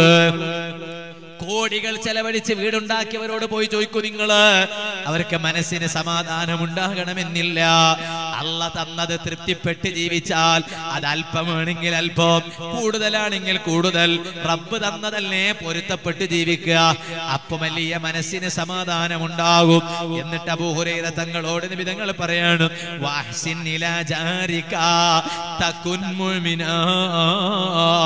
അതെ അയൽവാസിക്ക് നല്ലത് ചെയ്യണേ. അയൽവാസിക്ക് പോകാനുള്ള വഴി തടസ്സമുണ്ടാക്കരുത്. ചില സ്ഥലങ്ങളിൽ പോയി നോക്കുമ്പോ സുബാനല്ല അവരെ വീട്ടിലേക്ക് എത്താൻ കഴിയില്ല. എന്താ കാരണം ചോദിക്കുമ്പോ പറയും അയൽവക്കക്കാരൻ സ്ഥലം വിടുന്നില്ല ഉസ്താദേ. ഇങ്ങോട്ട് ഒരാളെയും വരാൻ വിടുന്നില്ല ഉസ്താദേ. ഇങ്ങനെ വളരെ ധിക്കാരികളായ തീരെ കൽബിൽ ഒരല്പം പോലും സ്നേഹമില്ലാത്ത അയൽവാസികളായി നമ്മൾ അതപ്പതിപ്പി അതപ്പതിക്കരുത്. അയൽവാസികളോട് മിണ്ടാട്ടമില്ല. അയൽവാസികളോട് സ്നേഹമില്ല. ഒരിക്കലും അങ്ങനെ ആകരുത്. ഏറ്റവും വലിയ മോമിനാരാണ്. ഓ മോമിന് എന്ന് പറഞ്ഞ തലയിൽ തൊപ്പി വെച്ചത് കൊണ്ട് മാത്രമായോ? മുഖത്ത് താടി രോമം ഉണ്ടായത് കൊണ്ട് മാത്രമായോ? പള്ളിയിൽ വന്ന് അഞ്ചു നേരം നിസ്കരിച്ചത് കൊണ്ട് മാത്രമായോ? അതിനൊരു കുറവുമില്ലല്ലോ. തലയിലുള്ള തൊപ്പിക്കൊരു കുറവില്ലല്ലോ. മുഖത്ത് താടി രോമങ്ങൾക്കൊരു കുറവില്ലല്ലോ. പള്ളിയിൽ വന്ന് അഞ്ചു നേരം ജമയത്തായി നിസ്കരിക്കുന്നതിന് ഒരു കുറവുമില്ലല്ലോ. വാല പറയുന്നതിനൊരു കുറവുമില്ലല്ലോ. വാലസ കേൾക്കുന്നതിനൊരു കുറവുമില്ലല്ലോ. സർവജനങ്ങളോട് പറയട്ടെ. ഈ പാവപ്പെട്ട ഞാൻ എന്റെ അമ്മാറത്തായ നഫ്സിനോട് പറയട്ടെ. അതുകൊണ്ട് മാത്രം ഹബീബായ നബി സല്ലല്ലാഹു അലൈഹി വസല്ലം തങ്ങൾ പറഞ്ഞില്ലേ വഹ്സിൻ തകുൻ അയൽവാസിക്ക് നല്ലത് ചെയ്തു അയൽവാസിക്ക് ഗുണം ചെയ്തു. എന്നാൽ നീ നമ്പർ വൺ മോമിനാകും കേട്ടോ.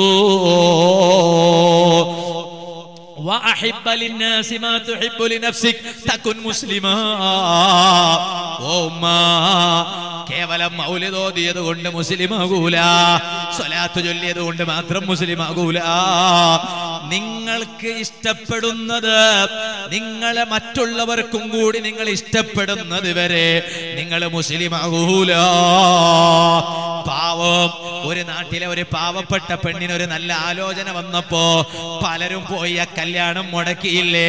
ചില നാട്ടിൽ കല്യാണം മുടക്കികളില്ലേ? എന്തേ? ഒരു പെണ്ണിനൊരു നല്ല ആലോചന വന്നാൽ അതിനെന്തിനാ ബാപ്പ നിങ്ങൾ പോയി മുടക്കിയത്? ചെറുപ്പക്കാരെ എന്തിനാ നിങ്ങൾ പോയി മുടക്കിയത്?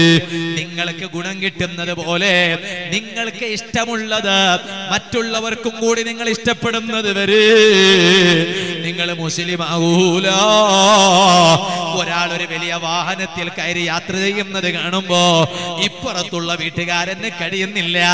ആ വാഹനം എവിടെ പോയെങ്കിലും ഒരു ബ്രിഡ്ജിന്റെ ചുവട്ടിലൊക്കെ പോയി വീണാലോ എന്ന് കൊതിച്ചു പോയില്ലേ? നിങ്ങളെ സ്വന്തം വാഹനം പുഴയിൽ പോയി വീഴുന്നത് നിങ്ങൾക്ക് ഇഷ്ടമാണോ എന്നാൽ നിങ്ങൾക്ക് നിങ്ങൾ എന്താണോ ഇഷ്ടപ്പെടുന്നത് അതിനെ മറ്റുള്ളവർക്കും കൂടി ഇഷ്ടപ്പെടണേ. എന്നാൽ തകുൻ മുസ്ലിമാ നിങ്ങൾ മുസ്ലിമാകും കേട്ടോ. എന്നിട്ട് പറയാണ് വലാത്തുക്കുതിരില്ലേക്ക നിങ്ങൾ അമിതമായി ചിരിക്കരുത് ചിരി വർദ്ധിപ്പിക്കരുത്. ഇപ്പൊ കൊറോണ വന്നപ്പോഴും ചില ആളുകൾ ട്രോൾസ് ഉണ്ടാക്കിയിട്ട് ചിരിപ്പിക്കുക. ട്രോൾസ് ഉണ്ടാക്കിയിട്ട് ചിരിപ്പിക്കുക. എൻ ആർ സിന്റെ ചോദ്യം ചോദിക്കാൻ വേണ്ടി വരുമ്പോ വീട്ടുകാരൻ വാതിൽ തുറന്ന് ചുമക്കുക.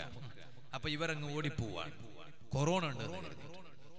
ഇതുപോലെ വേറൊരു ട്രോൾസിന്റെ വീഡിയോ ഞാൻ കണ്ടു. ഞാൻ നിർത്തു ഭർത്താവ് ഗൾഫിൽ വന്നു. വെറുതെ ട്രോൾസ് ഉണ്ടാക്കുക. ടിക്ടോക്ക് ഉണ്ടാക്കണം. ഇപ്പൊ പിന്നെ നമ്മുടെ സമുദായത്തിൽ ആണിനും പെണ്ണിനും ടിക്ടോക്കിന് ഒരു മടിയില്ലല്ലോ ഒരു കുറവില്ലല്ലോ അള്ളാഹു നമ്മുടെ യുവാക്കൾക്കും യുവതികൾക്കും നീ നല്ല ബുദ്ധി നൽകണം റഹ്മാനെ. ടിക്ടോക്ക് ഉണ്ടാക്കുകയാണ് എന്താ ടിക്ടോക്ക്? ഭർത്താവ് ഗൾഫിൽ വന്നു. ഗൾഫിൽ നിന്ന് വന്നു നാട്ടിൽ. ഭാര്യ വാതിൽ തുറക്കാൻ കൂട്ടാക്കുന്നില്ല. ജനൽ പോലും തുറക്കുന്നില്ല. അപ്പൊ ഇവൻ പറയാണ് നീ വാതിൽ തുറക്കുമോ? പെണ്ണേ ഇല്ല തുറക്കൂല ജനലെങ്കിലും തുറക്ക് ഞാൻ നിന്റെ മുഖം നോക്കിട്ടെങ്കിലും ഒന്ന് സമാധാനിക്കട്ടെ. ഇല്ല അതും തുറക്കൂല. എന്താ കാരണം? കാരണം നിങ്ങൾ കൊറോണ ഇല്ല എന്ന് ഉറപ്പിച്ചിട്ട് വന്നാൽ ഞാൻ തുറക്കും. അല്ലെങ്കിൽ തുറക്കൂല. ഗൾഫിൽ നിന്ന് വന്നതുകൊണ്ട്. വെറുതെ ഉണ്ടാക്കുകയാണ് ട്രോൾസ് ഉണ്ടാക്കുക എന്നിട്ട് ഇങ്ങനെ ചിരിപ്പിക്കുകയാണ്. സ്വന്തം ചിരിക്കുകയാണ് മറ്റുള്ളവരെ കൊണ്ട് ചിരിപ്പിക്കുകയാണ്. പാടില്ല. നിങ്ങൾ കൂടുതൽ ചിരിക്കരുത്. എന്നിട്ട് പറഞ്ഞു അബൂഹുറൈറ തങ്ങളോട് നബി സല്ലല്ലാഹു അലൈഹി വസല്ലം തങ്ങളെ ഫഇന്ന കസറത്തൽ ലിഹ്കി തുമീതുൽ അമിതമായ തമാശ പറഞ്ഞുകൊണ്ടുള്ള ചിരിയില്ലേ? നിങ്ങളെ കൽബിനെ കൊന്നുകളയും കേട്ടോ മരിപ്പിക്കും കേട്ടോ. സുഹൃത്തുക്കളെ അതുകൊണ്ട് ഈ ഉപദേശങ്ങൾ ജീവിതത്തിൽ ഫലം കാണുന്ന ഉപദേശങ്ങളാക്കി മനസ്സിലാക്കി നല്ലവരായി ജീവിക്കണേ. ഏത് പ്രയാസത്തിനും പരിഹാരം സ്വലാത്താണ്. ഇവിടെ ഉസ്താദിന്റെ നേതൃത്വത്തിൽ സ്വലാത്ത് നടക്കാൻ പോവുകയാണ്. ധാരാളം സ്വലാത്ത് വർദ്ധിപ്പിക്കണം.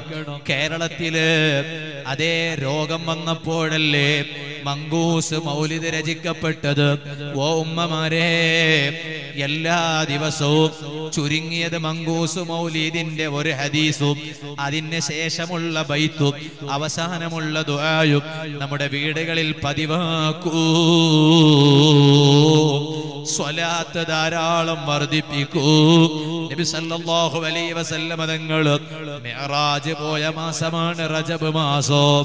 സറൈത മിൻ ഹറമിൻ ലൈലൻ ഇലാ ഹറമി كما سار البدر في داج من الظلام ഒരു സ്വലാത്ത് ചൊല്ലു മദീനയിലേക്ക് മൗലായ صلي وسلم دائما أبدا على حبيبك خير الخلق كلهم وبت ترقى إلى أن نلت منزلة من قاب قوسين لم تدرك ولم ترمي. مولاي صلي وسلم دائما أبدا على حبيبك خير الخلق كلهم. ഈ സ്വലാത്ത് വാർഷിക സദസ്സിൽ ഒരു തീരുമാനമെടുക്കണം. ഇനി എന്റെ ജീവിതത്തിൽ എല്ലാ ദിവസവും ചുരുങ്ങിയതൊരു നൂറ് സ്വലാത്ത് ചൊല്ലാത്തൊരു ദിവസം എന്റെ ജീവിതത്തിൽ ഉണ്ടായിക്കൂടാ നേരത്തെ ഞാൻ പറഞ്ഞില്ലേ തഹജ്ജുദ് നിസ്കാരത്തിന് ഉണരണം. എന്നിട്ട് തഹജ്ജുദ് നിസ്കരിച്ചാൽ ഉമ്മ പെങ്ങന്മാരെ സുബഴി ബാങ്ക് കൊടുക്കുന്നത് വരെ സ്വലാത്തങ്ങ് ചൊല്ലിക്കോ. മദീനയിലെ നേതാവിന്റെ പ്രത്യേകമായ നോട്ടമുണ്ടാകും. എല്ലാവരും കൂർക്ക വലിച്ച് കിടന്നുറങ്ങുന്ന സമയത്ത് അല്ലാ വെള്ളാര പരിസരത്തുള്ളൊരു വീട്ടിൽ ആണുങ്ങളും പെണ്ണുങ്ങളും എല്ലാവരും ഗാഠനിദ്രയിലുള്ള സമയത്ത് അതാ സ്വലാത്ത് ചൊല്ലുകയാണ്. നേതാവിന്റെ പ്രത്യേകമായൊരു നോട്ടമുണ്ടാകും. إن أولى الناس بي يوم القيامة أكثركم علي صلاة.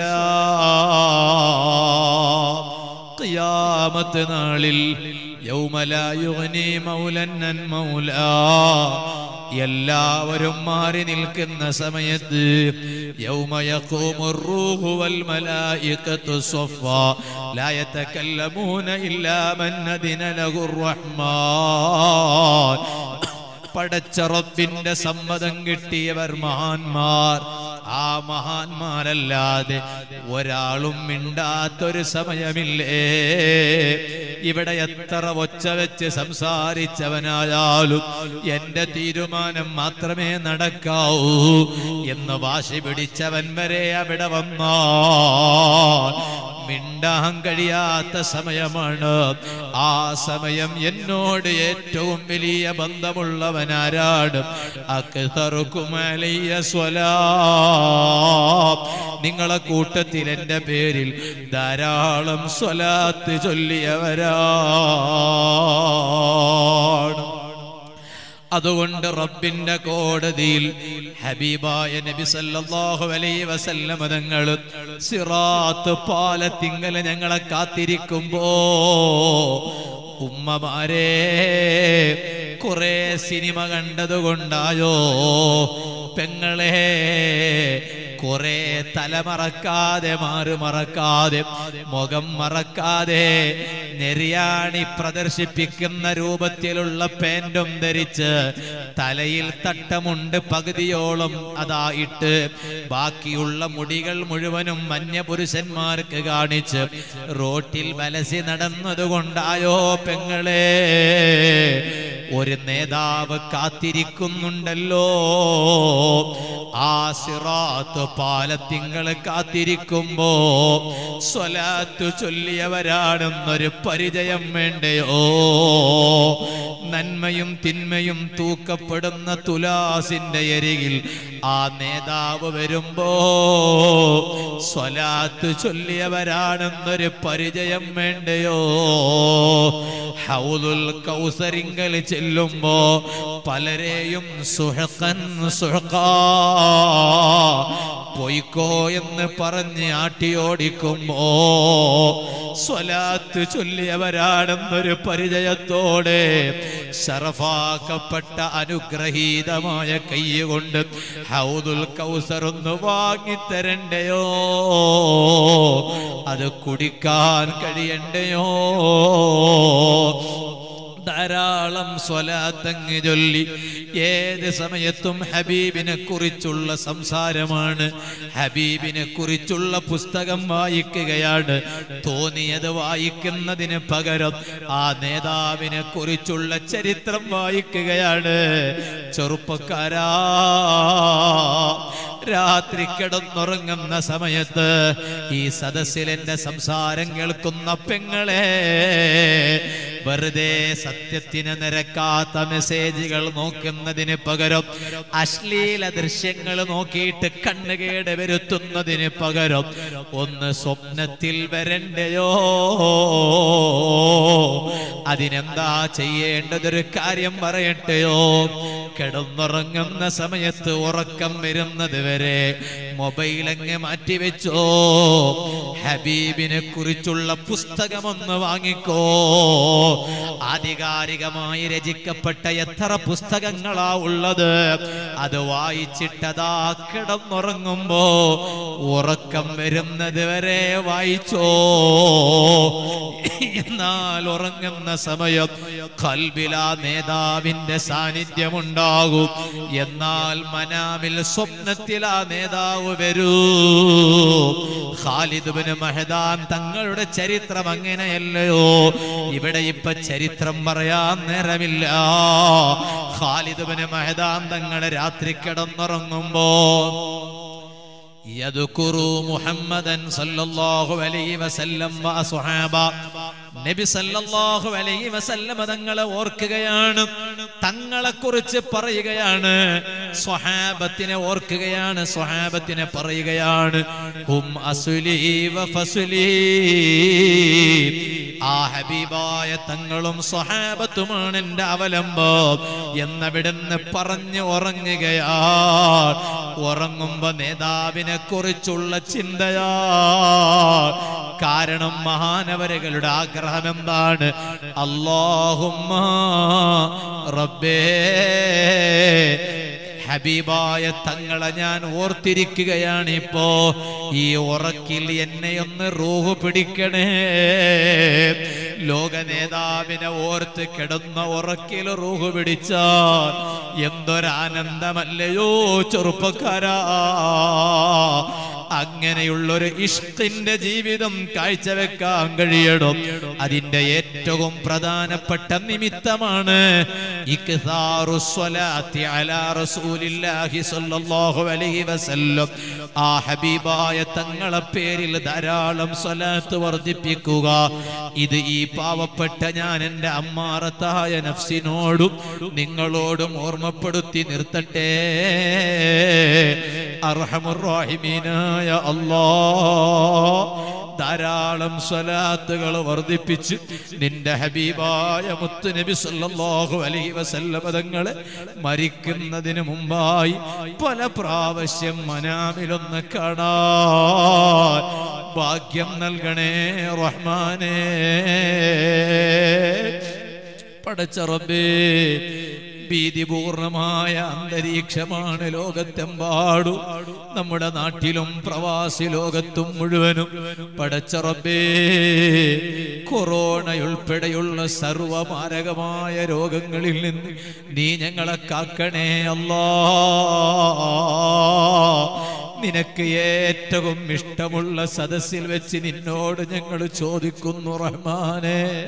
നിന്റെ ഹബീബായ മുത്തു റസൂലുല്ലാഹി സല്ലല്ലാഹു അലൈഹി വസല്ലമ തങ്ങളെ പേരിൽ സംഘടിപ്പിക്കുന്ന സദസ്സ് നിനക്ക് ഏറ്റവും ഇഷ്ടമുള്ള സദസ്സാണല്ലോ അല്ലാ. വിദേശ നാടുകളിൽ പുറത്തു പോലും ഇറങ്ങാൻ കഴിയാതെ അഭയം തേടേണ്ടുന്ന സ്ഥലം പള്ളികളായിട്ട് പള്ളികളിൽ പോലും പോകാൻ കഴിയാതെ ഇതുപോലെ ഹറമൈനിയുടെ ചാരത്ത് പോലും പോകാൻ കഴിയാതെ നീ ഞങ്ങളെ പരീക്ഷിക്കുകയാണോ റബ്ബേ? ഞങ്ങൾ ക്ഷമിക്കുകയാ നീ ഞങ്ങളെ ശിക്ഷിക്കുകയാണോ അല്ല? ഞങ്ങൾ പാഠം ഉൾക്കൊള്ളുകയാ ജീവിതത്തിൽ വന്നുപോയ സർവ തെറ്റുകുറ്റങ്ങൾ നിന്റെ മുന്നിൽ ഞങ്ങൾ ഏറ്റുപറയുന്നു അല്ലാ ഞങ്ങൾ മലക്കുകളല്ല ഞങ്ങൾ അമ്പിയാക്കളല്ല ഞങ്ങൾ മുറുസലീങ്ങളല്ല നിന്റെ അടിമകളെ കൂട്ടത്തിൽ വളരെ പാവങ്ങളാണ് ഞങ്ങൾ. ഞങ്ങളെ സർവ തെറ്റുകുറ്റങ്ങളെ നിന്റെ മുന്നിൽ ഏറ്റുപറഞ്ഞു.